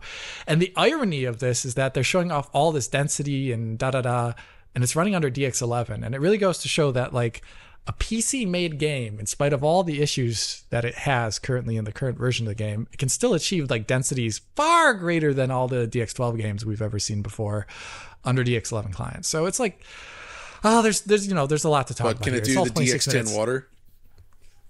yeah, they have even better than DX10 water, John. Um, I imagine like if you if you were sitting me right now talking about it, I just say go on to YouTube, click a link, find it. It's pretty easy to find. Watch it, sit down. It's really, really enjoyable watch. Uh, it gives me super serious like when they initially showed off like Crysis, they had all these really cool in-engine trailers where they would show off a variety of things in Crysis in the environments itself. Yes. And they're doing that here. You know, like the original Crysis trailer from like XO7 or something like that shows off like the bridge with the ropes and like the the the barrels falling on it and you're just like I've never seen that in a game before. And here they're showing like off like ridiculously awesome water sims or like spaceship crashing sims or just incredible scale of going through like planetary space transitions, stuff you just that, that just don't happen in any other I games. agree. It gave me those serious vibes. So like, if you love tech, watch this trailer. Don't you don't need to buy Star Citizen. I'm not I'm not that guy that says you need to buy it, but just be in awe of the ridiculous ambition the game has, and uh, yeah, enjoy the pretty sights and sounds. It's a very good looking trailer. Man, It it, does look phenomenal. it kind of just reminded Mm-hmm. me of, um, I mean, different games in the end, but the sense of scale is what I was hoping for. It was Starfield in the end, but Yeah, having I played mean- through that game, it ended up feeling very small. You know what I mean? It just Yeah, with everything being segmented and all the loading screens and the zoning and the way it just works, and then eventually you just use fast travel because there's nothing really to see between the spaces. It's a very it's a very different game. It feels very small and it did not really capture this feeling of space being a huge well space. Daunting uh, thing, and th- scary thing. This, of course, yeah. is just a, a trailer video, and you know, Star Citizen has its own crazy history. But man, like this gets me excited for space games again in a way. Like this looks, Mm-hmm. yeah. this is the type of thi- scale I want to see in this type of game. Um, yeah, and I think I think the scale is really about selling space. That's the one issue that with Starfield, like you're saying, like if you can fast travel, then it kind of cuts it cuts out the interesting aspect Yeah. of like the you're talking about all the time Death Stranding, John. Like the A Yes. to B should be interesting in its own right. And Star Citizen, I mean, it's a sim game, so your level of enjoyment there is how much you enjoy going through space at you know like relativistic speeds but you know it's there and there's a whole game built around these things it's really that it's a lot of fun that is the a lot of difference fun when you there. play with You're exactly right. It's the journey versus the the reward. And a lot of open world games, including Starfield, like they're all built to like what happens at point A or point B is is the interesting thing, and everything in between really isn't. between which yeah. is also weird because Bethesda's prior games were pretty good about the in between stuff. I'd say, and Yeah, I think they- Starfield they- just it got away from them in terms of scale because to make something that as, with as much different many different places you could go, they couldn't really deliver a world like that. arguably that's where the interplanetary travel could have like they could have still had you loading from they, they could have not had space to ground transitions but they still could have had like the equivalent of the skyrim you leaving winter run or whatever the name of the what is the what is the name of the Oh, yeah, main yeah, city yeah. first one you get to i forget the name of it uh, it's not winter run that's that's Game of Thrones, probably. uh, but like you get there, and that's a load. You get in the city, but when you get out of the city onto the countryside, that's the more free form Yeah. Bethesda. Uh, you know, pro- like you go between places and discover things. Well, the problem there is that there was nothing. There was nothing to discover there because it's like most planets were like one city and then just like generated terrain that had a border that you would run into. So there was Yeah. there was never there wasn't any purpose in actually going out there most of the time, and that yeah, it's kind of the bummer. Like even oh man, yeah. I know what I know what it is. I think they made a good game for what it is. It's just it didn't do the thing that I was hoping it would do, and that's fine. But That's uh, I still want Yeah. a game like that, and just not. it doesn't. Yeah, it, it like obviously different games, different strokes for different folks. Uh, this is Star Citizen is absolutely not Starfield in any sense. of No, the word. it does It's not try to completely be. different. It's an it's an MMO. Yeah, yeah, yeah. Um, but one little thing I want to call out at the end here, there's a lot of great stuff in the trailer, but also if you go to the very end of the trailer, the Star Engine logo, which they see, apparently just coined, is actually the Origin Systems logo. It's got like that the the the comet and the like the burst starburst at the end of Oh, the logo. you're right. So they're so they are It so they're calling back to a lot of old Chris. It's at the very end of the yeah, trailer. So that's so cool. scroll to the very end of it. Uh, it's it's the It's the old Origin Systems Starburst with the Comet. It's very cool. Um, but it's good to see this game seeing more success now in the last couple of years. Seems to be keep growing, and uh, I'll be covering it on the channel as soon as it is humanly possible. I Hopefully with John, and Yeah. then also a tech look is due at Well, some point Alex, too I because seem there's a to lot of recall stuff. you said you were going to look at Star Citizen again when they moved to Vulkan, and that was like three years ago, and they still haven't moved to Vulkan yet. So Yeah, so that was your I mean, arbitrarily imposed. that was my arbitrarily imposed date. But I'm pretty sure that's the maybe the version after this next one. We'll see. They said they have it done. See you in three They even have like really, they have really great posting. Like they have a developer board. Oh my god, it's so great. All the developers like usually chime in there, but their graphics programmers do. And they were talking about like PSO compilation stutter. They were talking about ray trace direct lighting as well too. That they want to maybe get in the game after they finish off GI, which they showed off at Chin- Citizen Con too. So you know they're very interactive, and it's like picking up pace now. Finally. Alex, we need, we need to do that video together. Culminating in a visit to CitizenCon. No. Yeah, it's. I think CitizenCon is always somewhere in the U.S. these oh. days. They used to have multiple. They used to have a German CitizenCon, I think. Yeah. but they kind of They, pulled they back should bring it that. back. They should have it here in Frankfurt. Bring it back, Jared. Okay, let, let's move on to our next story. Okay, so to round off our news stories this week, it's actually some personal news, I guess, Oh. in that finally, finally, Digital Foundry has received a uh, new PlayStation 5 Slim. Uh, obviously, this is old news at this point because the unit has been available in North America and Japan for some weeks, but um, it's only just, um, actually, it hasn't even appeared in, in Europe yet. We've got a projected release date of uh, November the 29th, so still a few days. However, I found on eBay a Canadian supplier that was willing to send me one. So, guess what? We're going to bring back the Digital Foundry unboxing and we're going to unbox the new PlayStation 5, which I'm sure is going to be riveting entertainment for those who are listening to the audio version. It's not quite what's in the box, Rich, but it'll have to do. Ma- Well, make sure you we know crumple as box. much paper and make as many sounds as possible in front of the microphone so that they get that We audio. need real we need real time feedback to understand your Some, experience. what is it called? Right. ASMR. We need some uh, haptics. Some haptics. yeah. Right. Well, here it is. Let's uh, let's Wait, bring here it it up. comes. He's pulling it up. It's the uh, it's the Modern Warfare bundle. Um, actually, let's have a look at the front of it.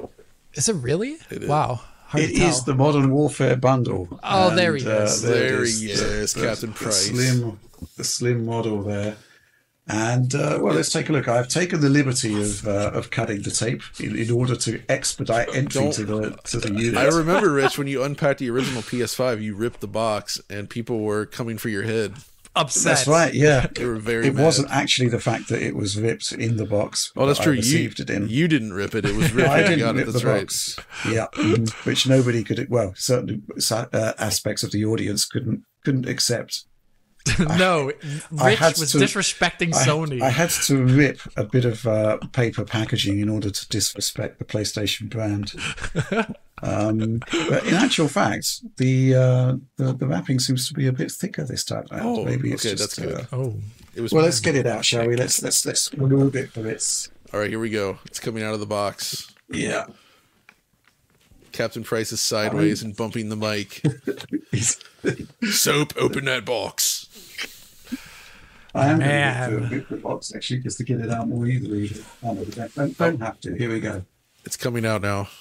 There we go. oh, you Now, slipped it out of the case. here we go. We've gone from uh, a box to another box, a totally nondescript box. So you Let's open unbox it the up. box.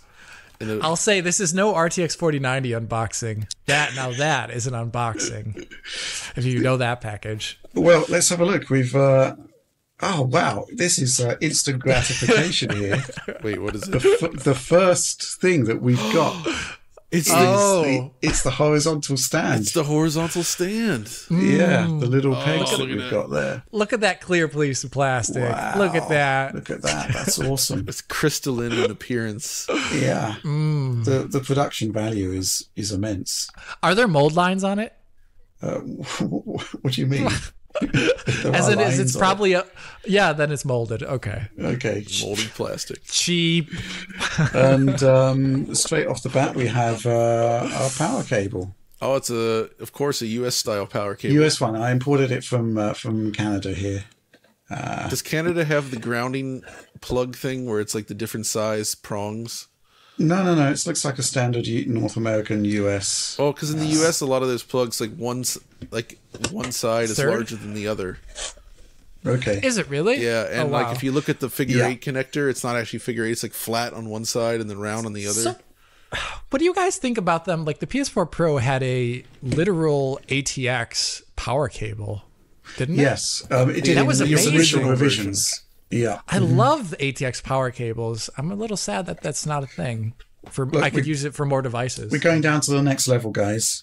Okay, We're next going level. deep. We're going deeper. What's in We here? have it's the HDMI 2.1 cable.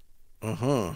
By the way, just for people in the audience, for so people know this, I don't trust any HDMI 2.1 cable except for the stuff that comes with consoles. Like I've yet to find one that doesn't add dithering to my to my Okay. console capture. Good. really. Well, now we have a USB C to USB C cable. It's very nice of them to provide go. Is that for the controller? How, how does that cable Yes. feel, Rich? Is that premium? Well, not particularly. It's a, it's a cable. it's, a, it's a USB C to USB C cable.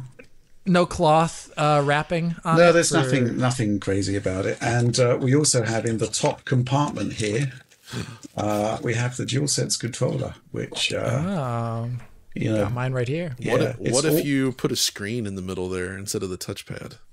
Yeah, you'd get. Yeah, one of what if there was like a like a huge screen in between it? What mean would you like think about that? Yes. There we Oh, look at that.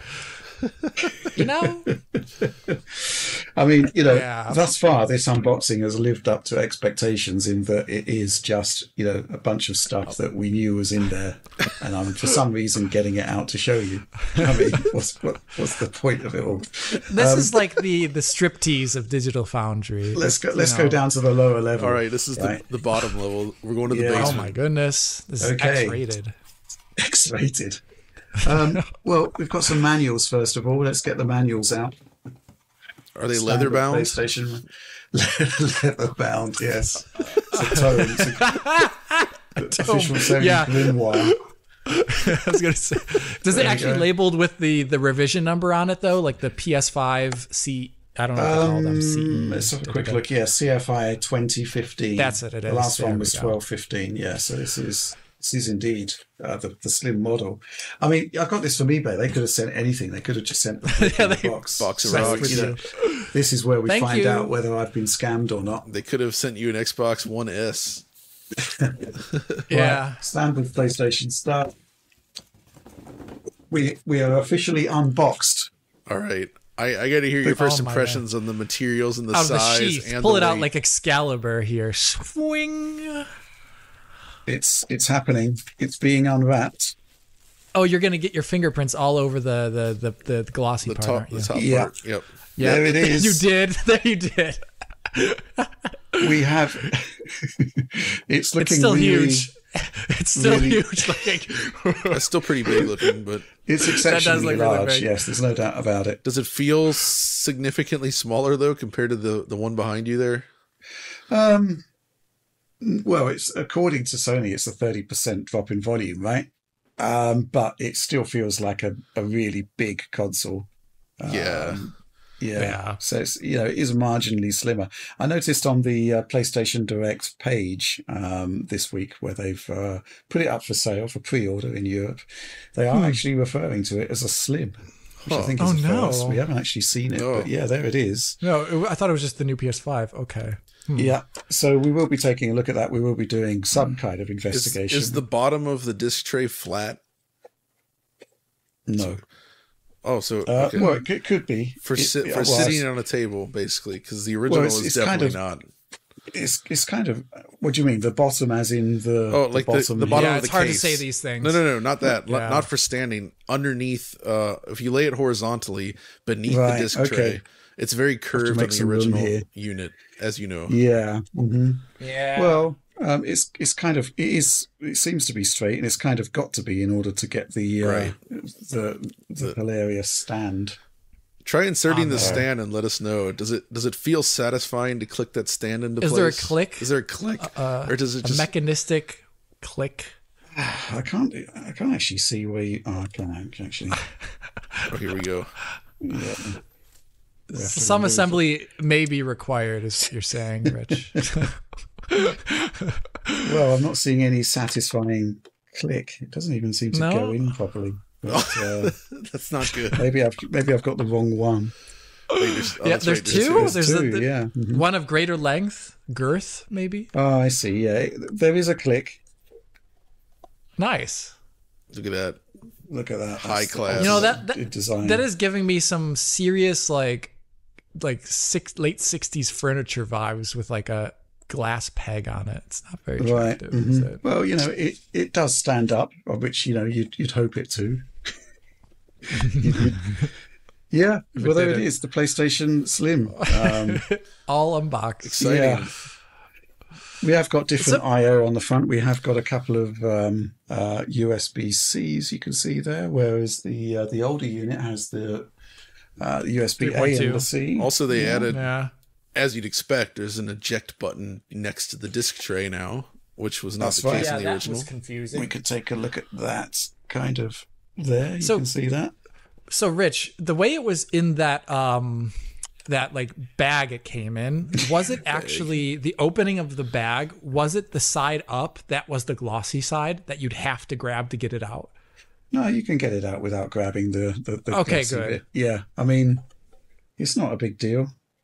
I mean, white gloss is okay, isn't it? It shows up um, fingerprints significantly Yeah, less not than, too bad. than black. Black gloss. Well, it's a handsome looking console, I think. You know, in the flesh, it looks better than what I thought it would look like based on the red- renders and the videos that I've seen. It looks perfectly fine, you know? I can't say I'm hugely blown away by the sort of side uh, sort of slashes on it. But, you know, I'm, I'm, it, it's a PlayStation 5. I think It's that racing perfectly stripe is pretty sharp. So yes, we have actually got a unit now, and we will put it through some degree of testing to see what's unit. what there. Um, but yeah, I mean, I mean, anybody looking for a, a slimmer version of the PlayStation Five, I think you know,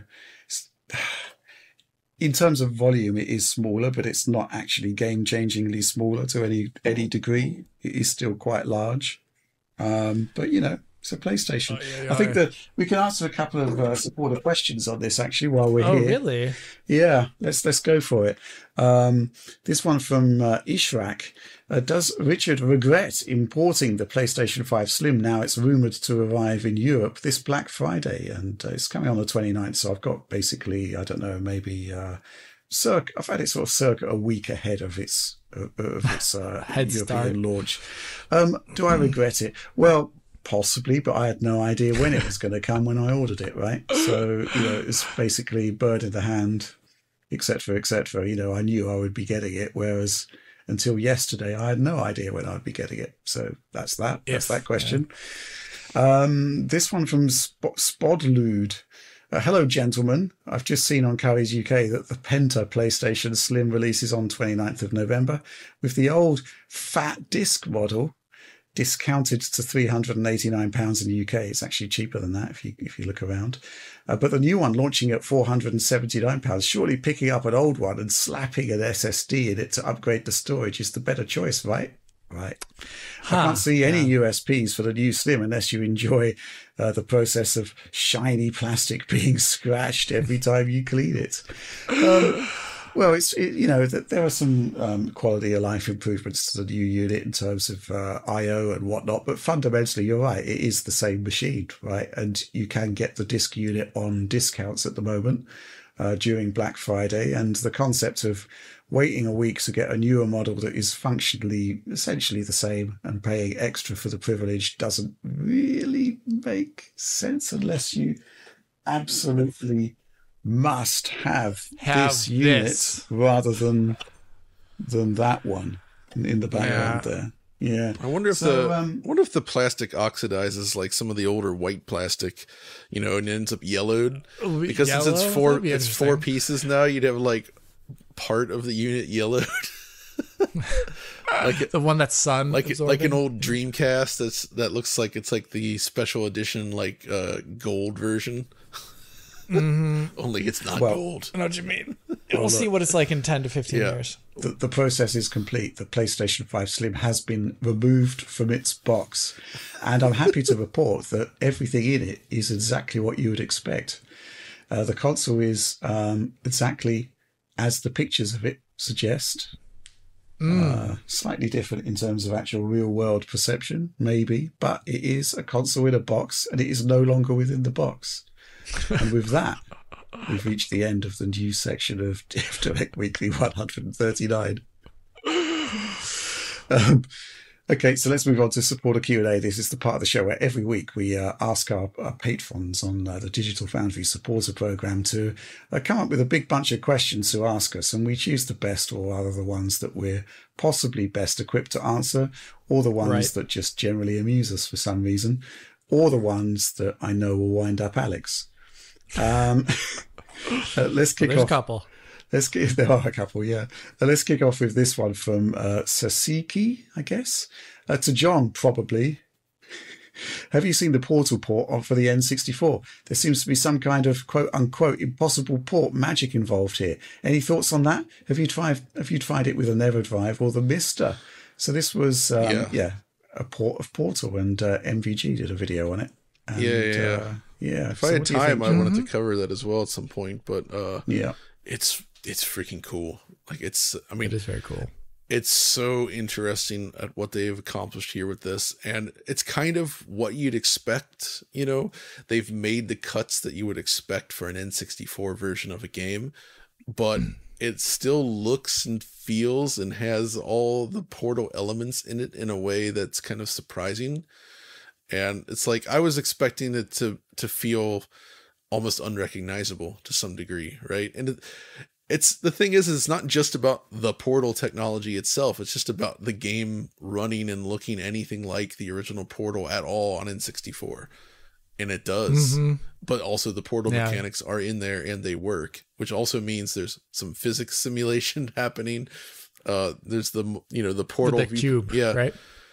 uh it's crazy. Like i haven't played that much yet but just looking at at, at it it's it's it's it, it does feel like a really impressive accomplishment. And this is something i'm actually really enjoying right now uh is these a lot of programmers like going back to old hardware and trying to develop new things. And actually maybe rather than just looking at portal there's a there's also uh an attempt at essentially i think xl2 on the saturn basically bringing unreal to the saturn.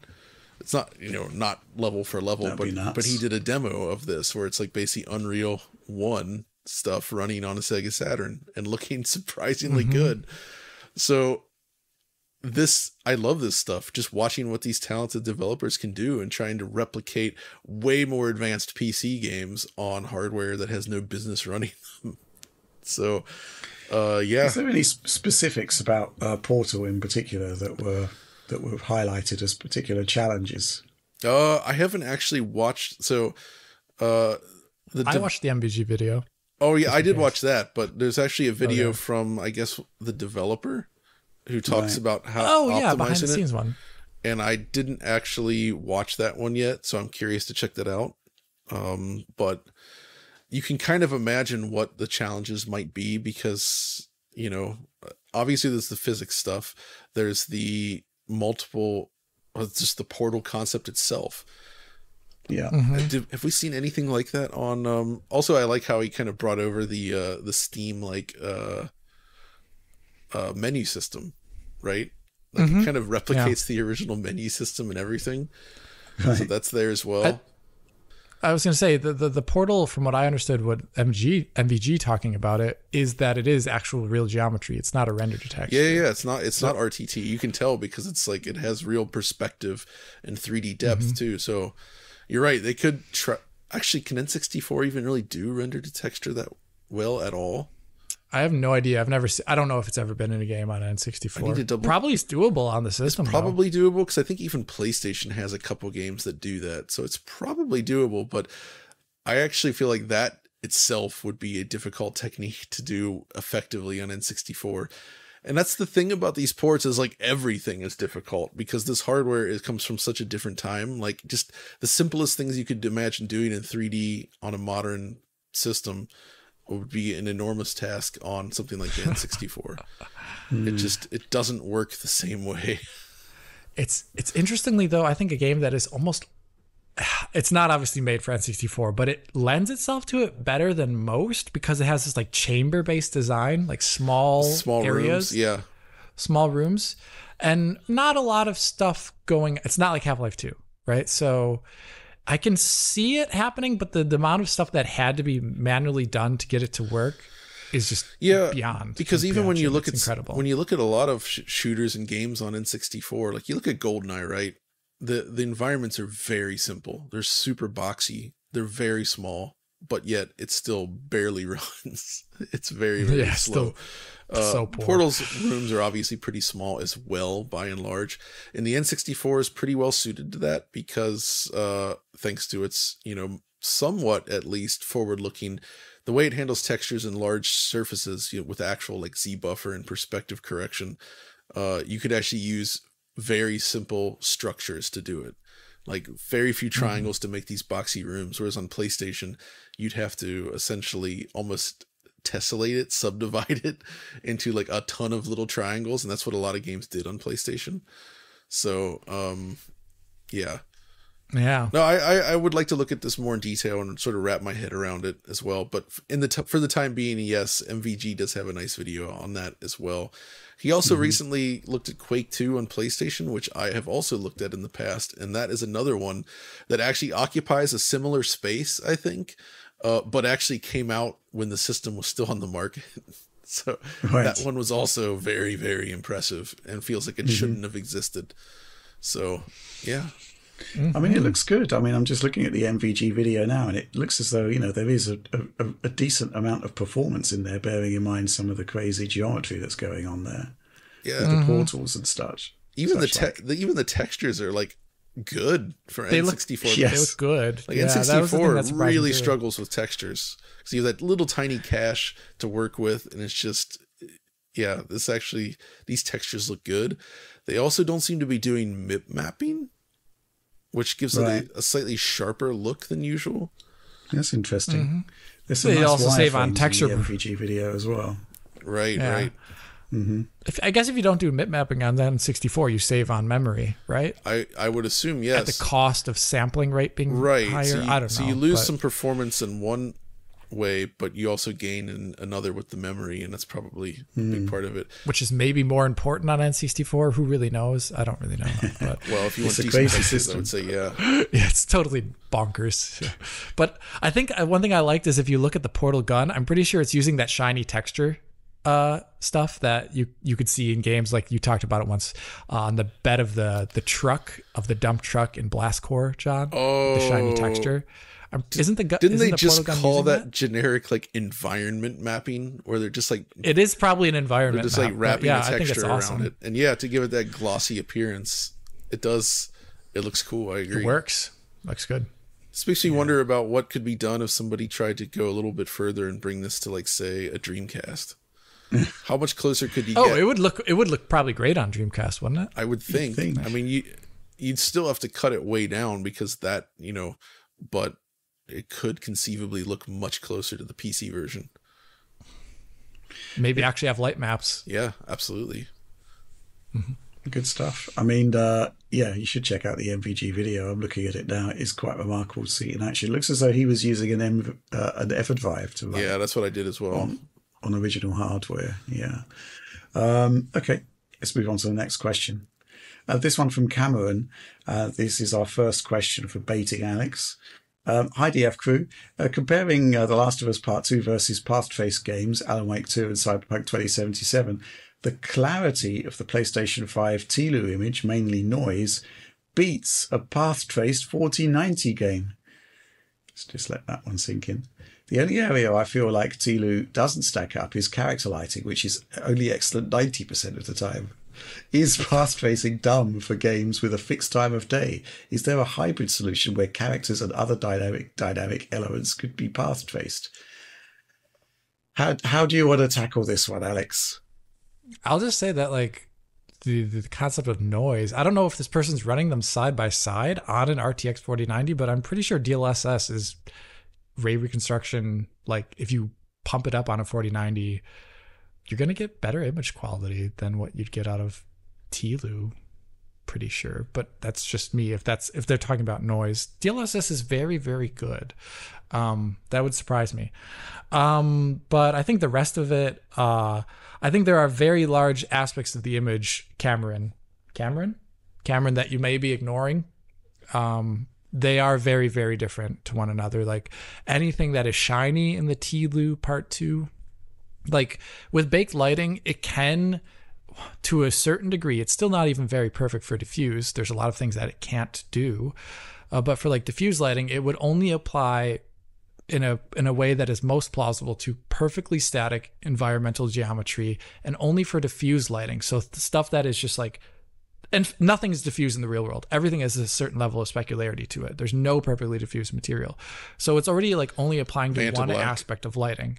And yeah, it's one one material John mentioned that this is like made in a lab, um, and you know, so like you, you only get like diffuse lighting on one real like type of surface. The rest of it though is so hacky. It, they do a good enough job for like you just walk around and you take in the scene like from like a very like low level perspective, but as soon as you actually look, you realize it's all wrong. And as soon as you were to see the image with like path trace specularity, you'd realize that it is quite different. One thing I pointed out in the Alan Wake 2 video is that the the baked diffuse lighting or whatever they're doing for their diffuse lighting in the game in the standard rasterization approach, it makes a lot of materials in the game really overly rough looking because there's no good specularity to them in the other ways to capture it. And it changes the material quality as you get higher up. And that's something you definitely see in TLOU part one and part two think it's uh, I've pointed out before in my global illumination video because I was talking about why there's this difference in lighting in specularity and diffuse lighting at one point. If you want, check out that video. It's maybe two years old now, but it talks at one point about light maps and their limitations. Uh, and for that, like I'll just say like if you were to add path tracing to TLOU part one or two, it would be a better looking game. Um, and and I think one of the things it would also allow the game to be more interactive as a result too, uh, with the environments because you know obviously those games they have like a couple things you can pick up, but if you notice all the things you can pick up or the or the characters they're lit completely different than the environment around them, and those those are all things that you you may take notice of, Cameron, the next time you load it up. I mean, doesn't doesn't Cameron's conceit rely on everything being static, everything, and there's no yeah. dynamic movement in the game whatsoever?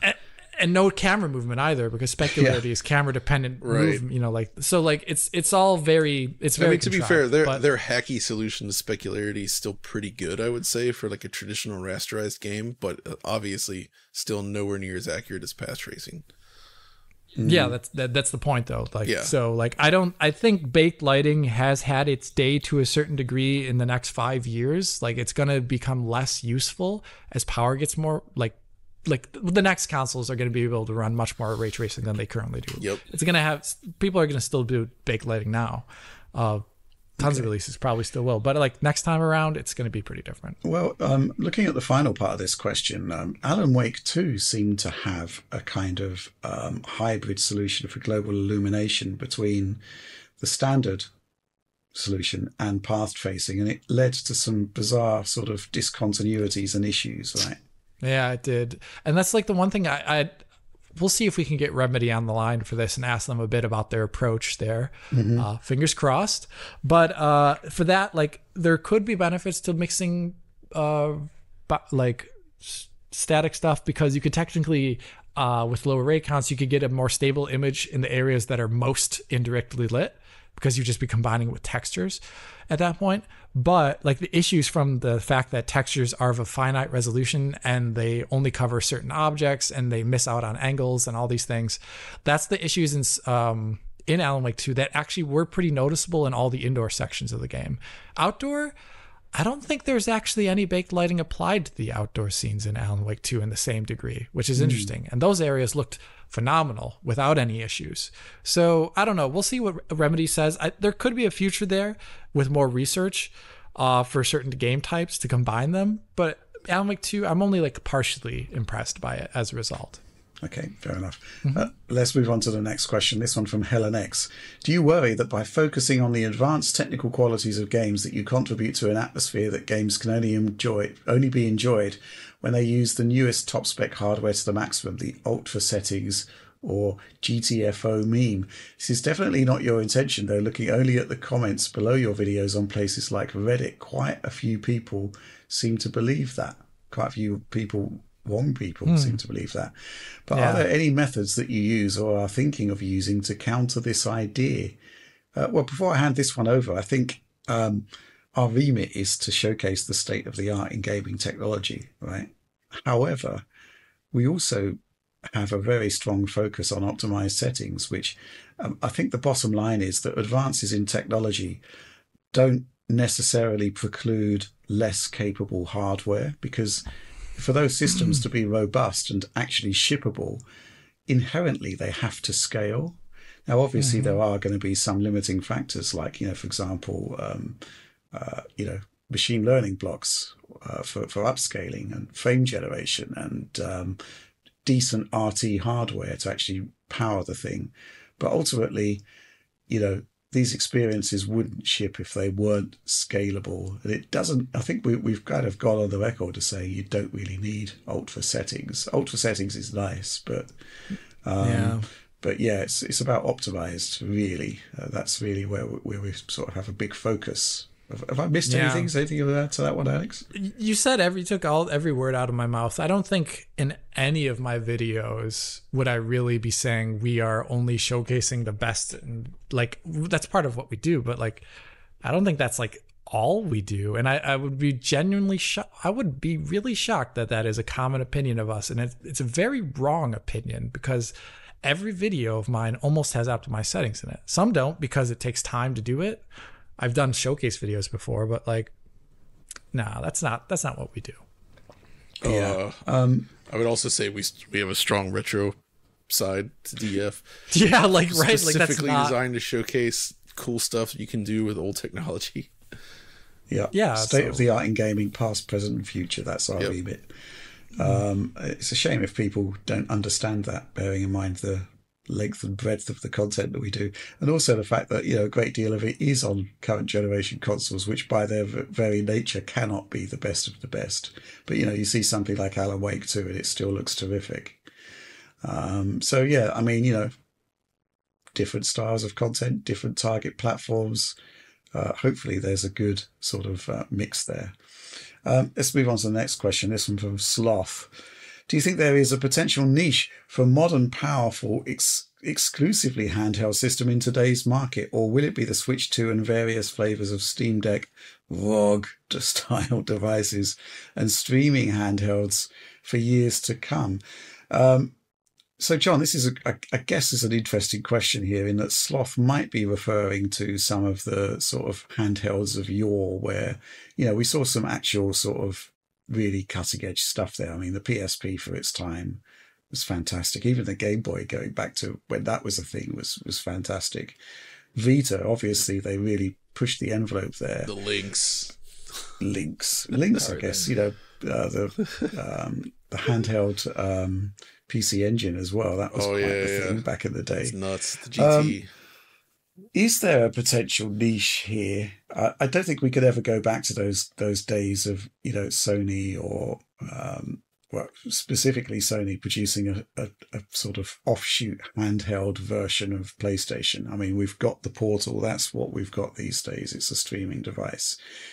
I think this niche probably is going to be ROG style devices and Steam Deck, right? Well, I think there's a all of this stuff exists, and I think it's going to continue as it is. And here's what we got Nintendo will continue to do the Switch, right? So that'll be the mass market, like big console manufacturer handheld thing that exists. That I think that will continue.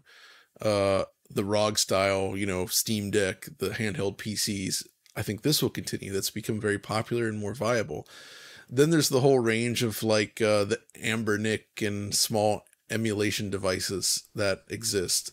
Uh, yeah those are also kind of fun and and can be popular as well and that's kind of carved out its own thing and then there's something like the the evercade which is around and i actually think it's become kind of a pretty awesome little platform where they've got these little Evercade portables with interchangeable cartridges, and they're they've gone beyond just emulation. Now there's actually like real uh, like game like actual game ports being made for these things. Like indie games that have come out on say Steam are actually being made now really for the Evercade. We're also seeing, you know, it's a mix of modern emulation stuff. They brought arcade emulation over, so there's actually arcade games on there now. Uh, they're just releasing the Duke Nukem stuff. So like Duke Nukem 1 and 2 with the Rigel engine was ported over to the Oh, wow. Evercades. You can play those in widescreen at 60 FPS now on a handheld from a cartridge, which I think that's really cool having games like that. So they're they're veering into classic PC stuff now as well and like making these like packaged like handheld versions. So I think that's a pretty cool little market on its own. It's not it's not huge. It's not going to be big money Switch stuff, but I think it's a really cool little compelling device. So between all of those, I think that's where the handheld market is is and although we can't leave out phones, obviously a lot of games are played there as well. But mm-hmm. because of that and the way it's shaken shaken out over time, I you're right. I don't think we'll ever go back to a point where Sony says, "Yeah, let's make a successor to the Vita or the PSP again." Yeah, and I think you know uh, the other thing about that device, and it's something which Switch taps into, is they're not necessarily. I mean, on the face of it, they do look like powerful devices. Well, the, the Vita did back in the day. You know, you saw Uncharted running on it. Yeah, sure. But you actually dig deep into what the hardware is, and it's not actually. You know, it's No, got to have decent much. battery life, and it is just basically um, down to the the you know how great low level access is to the GPU and the CPU, and of course the um, the ingenuity of the developers in making this stuff possible. In terms of the sort of concept of a modern, powerful, exclusively handheld system, where it's it is ROG Ally and, Yeah, and yeah, Steam yeah. Deck, I think. And when you look at the power consumption of those things, I mean, at full pelt, the Steam Deck is the LCD Steam Deck's, you know, uh, taking about 26 watts, which is going to be at least like double what the steep uh, the Switch 2 is going to be doing, I reckon. So Mm-hmm. yeah, it's kind of nuts, really. But I think that's that's the way it's going to be. I do like Absolutely. the fact that we do have this proliferation of handhelds now, all doing different things. We've got the streamers, we've got the Portal, um, we've got the Switch 2 coming. Man, You know, thinking back to the thinking back to the Vita though, do you remember Rich during when they first revealed it as the NGP? Uh, Yeah. There's several demos that that there's video footage of still where like companies were showing off Vita versions of games that didn't end up shipping. So Capcom showed off Lost Planet 2 running Wow. on the Vita. And I'm looking at the footage here Wow. again. You can see like pretty big cuts to the polygons, but it looks comparable. Uh, Yeah. Konami also showed uh, Metal Gear Solid 4 running real-time cutscenes on the, on the Vita hardware. Although the frame rate was quite low, uh, it was Well, still like the PS3 then. Sure. Those 20 FPS cutscenes. But um, Tish, right there. That's uh, that's a good one, Rich. You're absolutely right. So yes, it was running like the PS3 version. but yes, the early Yeah. the early Vita stuff looked amazing, and it's a shame It did look amazing, we- yeah. I think man, Lost Planet Two would have been perfect for the Vita because it's kind of that co-op action monster huntery kind of thing in a way. Mm-hmm. Would have been a good good fit. Uh, I was thinking though. Sony wouldn't do this again, but there is actually still potential, I think, for Microsoft to do their own Xbox branded portable system. Not necessarily Series S, but something that maybe, but basically something to, to tap into Game Pass on the go.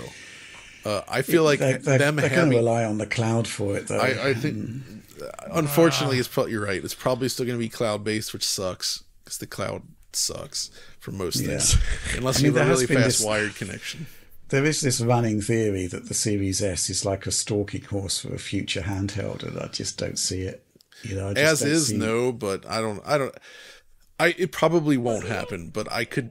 I could see a Two business case nanometers? for it. I mean, I don't know. They, are in with the Surface stuff they've done before. I mean, they could make a cool looking little handheld that's plays Xbox stuff. Maybe. Yeah, but I don't think they will. I just think it's too much of a of an investment. You know, Yeah, limited returns. That's probably true. Yeah. Okay, uh, well, let's move on to the next question. Um, yeah, this one from Tom Bomb. That's Hi, DF. Crew! Exclamation point. Following up on a question from last week, you said the Switch 2 definitely must be a hybrid console, but in reality, the Switch Lite is already a fully portable device and is not hybrid. What if the new Switch was actually two consoles, a handheld and a home console? They could share the same internals so that Nintendo would still have the advantage of not splitting development between the two. Those players who are more inclined to play in handheld mode would get that one, and those who rarely use their console on their own could get the home console one. Rich people and fans would probably get both, and that'd be a win for Nintendo. I, I just can't see it. You know, the, the whole point of the Switch is the concept that it is switchable, right? You know, it's it's a hybrid console. It covers off all the bases. Um, you're kind of moving into Series S and uh, Series X territory there, and and and there be dragons from a from a development perspective. I suspect um, it just makes things a lot more complicated and a lot more difficult to market. And um, you know, the cost of developing silicon isn't insignificant either. I mean, obviously they would be. I can kind of see the concept that it would work in that they would be offshoots of the same brand of technology, right? But even so, it's it it kind of waters down the differentiation with the other systems. Uh, thoughts, John? I mean, I think the Switch Lite was equivalent to the Nintendo 2DS, where it's Yeah, Mm-hmm. basically just like a continuation of that line, but like a cheaper It was a optional version. version. It's a budget Yeah. version. It's designed for a different use case, but it doesn't define the platform and it has zero impact on the software development.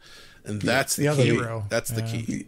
The other thing, of course, is that they had the die shrink on the processor, which enabled a smaller, more Right, compact right, right, form factor and still decent battery life, which you know is kind of important.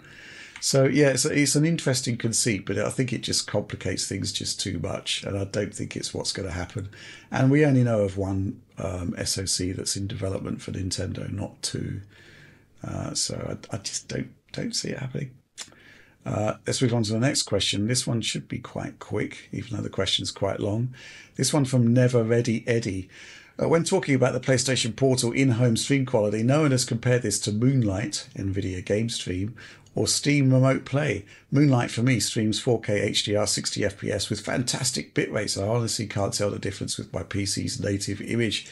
Why is PlayStation Remote Play so poor by comparison with the weight of Sony behind its development? I used PS Remote Play on the same wired network, and it is a 1080p artifact ridden mess.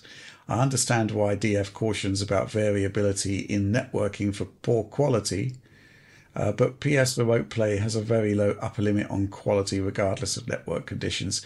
Why can't Sony improve this if some guys on GitHub can make Moonlight a far superior streaming platform?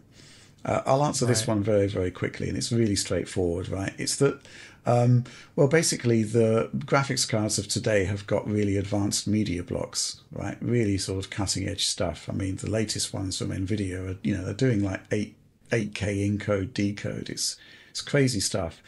But they're paying for it with transistor budget. You know, the more complex the media block gets, the more capable it gets, the more complex the logic the more transistors it uses, the more expensive it is.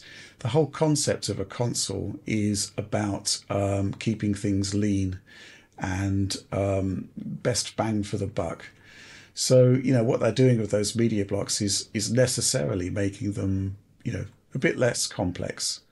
So you know you can't have the same quality as you can um, with with with graphics cards that have got much better you know transistor budgets and higher end specs. That's that's the bottom line, and that's why you can't do that. Um, unfortunately, I agree that there should be some sort of um, higher bitrate increase on PlayStation Remote Play, but um, you know if you use the the uh, if you do sort of switch on to the HEVC 15 megabit um, uh, sort of profile that Remote Play has got that the portal uses, it it can look okay. I'm I'm kind of more concerned about like um, the the frame drop issues that I've seen on it. Yep. Um, yeah, not really too much more to add to that one. Um, but let's finish off with a couple of questions lumped into one. First one from right. Eric Benoit. I don't have a question. Oh, I just I just want to wish everyone a happy Thanksgiving. I'm very thankful having Digital Foundry and its community in my life. I'm not able to have a social life or leave the home at will due to taking care of children with severe special needs. Video games and DF allow me to decompress and take the edge off. I'm very grateful for your great content. Thanks, Eric. Aw. That's- that's We're really grateful to you. Eric, and also you. We obviously it's easy to notice your name here and everywhere across DF content. So thank you for always posting such insightful and interesting questions. Absolutely. Indeed. Uh, and, and this contribution from Leftist Hominid. There are three US expats in Europe who work at Digital Foundry Will, John, and Alex from west to east. I'm not quite sure if Will is actually an expat, strictly speaking, but he's No. got an accent. he's a hybrid. Hybrid, yeah. This question is for them, so I'm not going to answer. I was wondering, do you celebrate Thanksgiving in the UK slash Germany? If so, do you try to emulate the traditions you grew up with, or have you Emulate. developed? yes, cycle accurate emulation of the uh, of the traditions you grew Of the up youth, with, yeah. or, or have you developed bespoke new traditions? The bespoke is in there, so Richard is not left out. Okay, thanks for that. uh, Alex, have you um have you got cycle accurate um uh, tradition emulation? No, I ate salmon yesterday. I mean, mean? I, I did not have a Thanksgiving. Oh, you didn't have a turkey? Any of, I did Right, not okay. get a turkey. I did not this Salmon. year do anything of that. Like I was just like, no. I mean, th- there's things that I celebrate here a lot more uh, than I would have things that I would celebrate when I grew up. Uh, and it's just you know things that you can invite your friends to. So I'll be doing a bigger Christmas celebration this year. Uh, Okay. kind of. Now you have done some Thanksgiving uh, stuff, Yeah. in, in the past, right, We John? do- I was invited to John's. We yeah, do it. We ago. do it most years, and we're doing it this weekend as well. We don't do it on actual Thanksgiving Day because it's a work day, but it's great and it's a lot of fun because a lot of my friends over here that did not grow up with that and aren't familiar with it, they really enjoy that as well. Celebrating other t- other holidays like that and eating this kind of food, it's a different experience and it's fun to share it. Uh, mm, okay. And yeah, I mean, I guess it'll just be me. There'll, there'll be three American natives at the celebration, but it's mostly German and French folk. so That's Uh, what's with the giant turkeys? They seem oh, unfeasibly large. we're not. That's one thing we see. skip out on. We just use chicken because those turkeys Okay. are too big and take up too much space in the oven and harder to get here. These turkeys, though, these are, like John was saying earlier, these are crossbreeds. These are hybrids. Hy- these are mutants, Rich. Hybrid. That's how they come into existence. They've been blended. Yeah. That sounds Have a quite good- sinister. Have a good dinner and does, everybody yeah. gather around the fireplace and watch uh, Thanksgiving. It's all good. Thanksgiving. Yeah. I'm trying to think of are, are there any famous movies that take place around Thanksgiving? Probably. Like, you know, there's always like the holiday classics of Christmas time, but are there actually famous Thanksgiving films? I don't know. I don't know. It- you in the audience. I have no idea. Yeah. This is always leave, leave the a comment You in in the, the box below yeah, on this web zone. on this website. Yes. the web zone. Uh, well, there you go. Not exactly a, uh, a ringing endorsement of uh, US traditions, emulated or otherwise. But that's it. That is the end of the show. And if you enjoyed it, please do like, subscribe, share, ring the bell for whatever notifications may emerge or not emerge at any given point. Um, uh, DF supporter program. Become part of the show. Every week we uh, put out that call for questions. We ask for topics. Uh, yeah, and uh, obviously you get early access to a big bunch of videos, including DF Weekly every week, and um, bespoke podcast feeds. Uh, tons of stuff going on there. Um, but that's it for this one. I guess we'll see you next week. And in the meantime, thanks for watching and supporting uh, Digital Foundry. And uh, yes, at store.digitalfoundry.net. That is our new merch destination. Wow. Not co.uk. What a mi- mistake. No, sorry. Yeah, we've evolved. Uh, anyway, that's it. See you next week.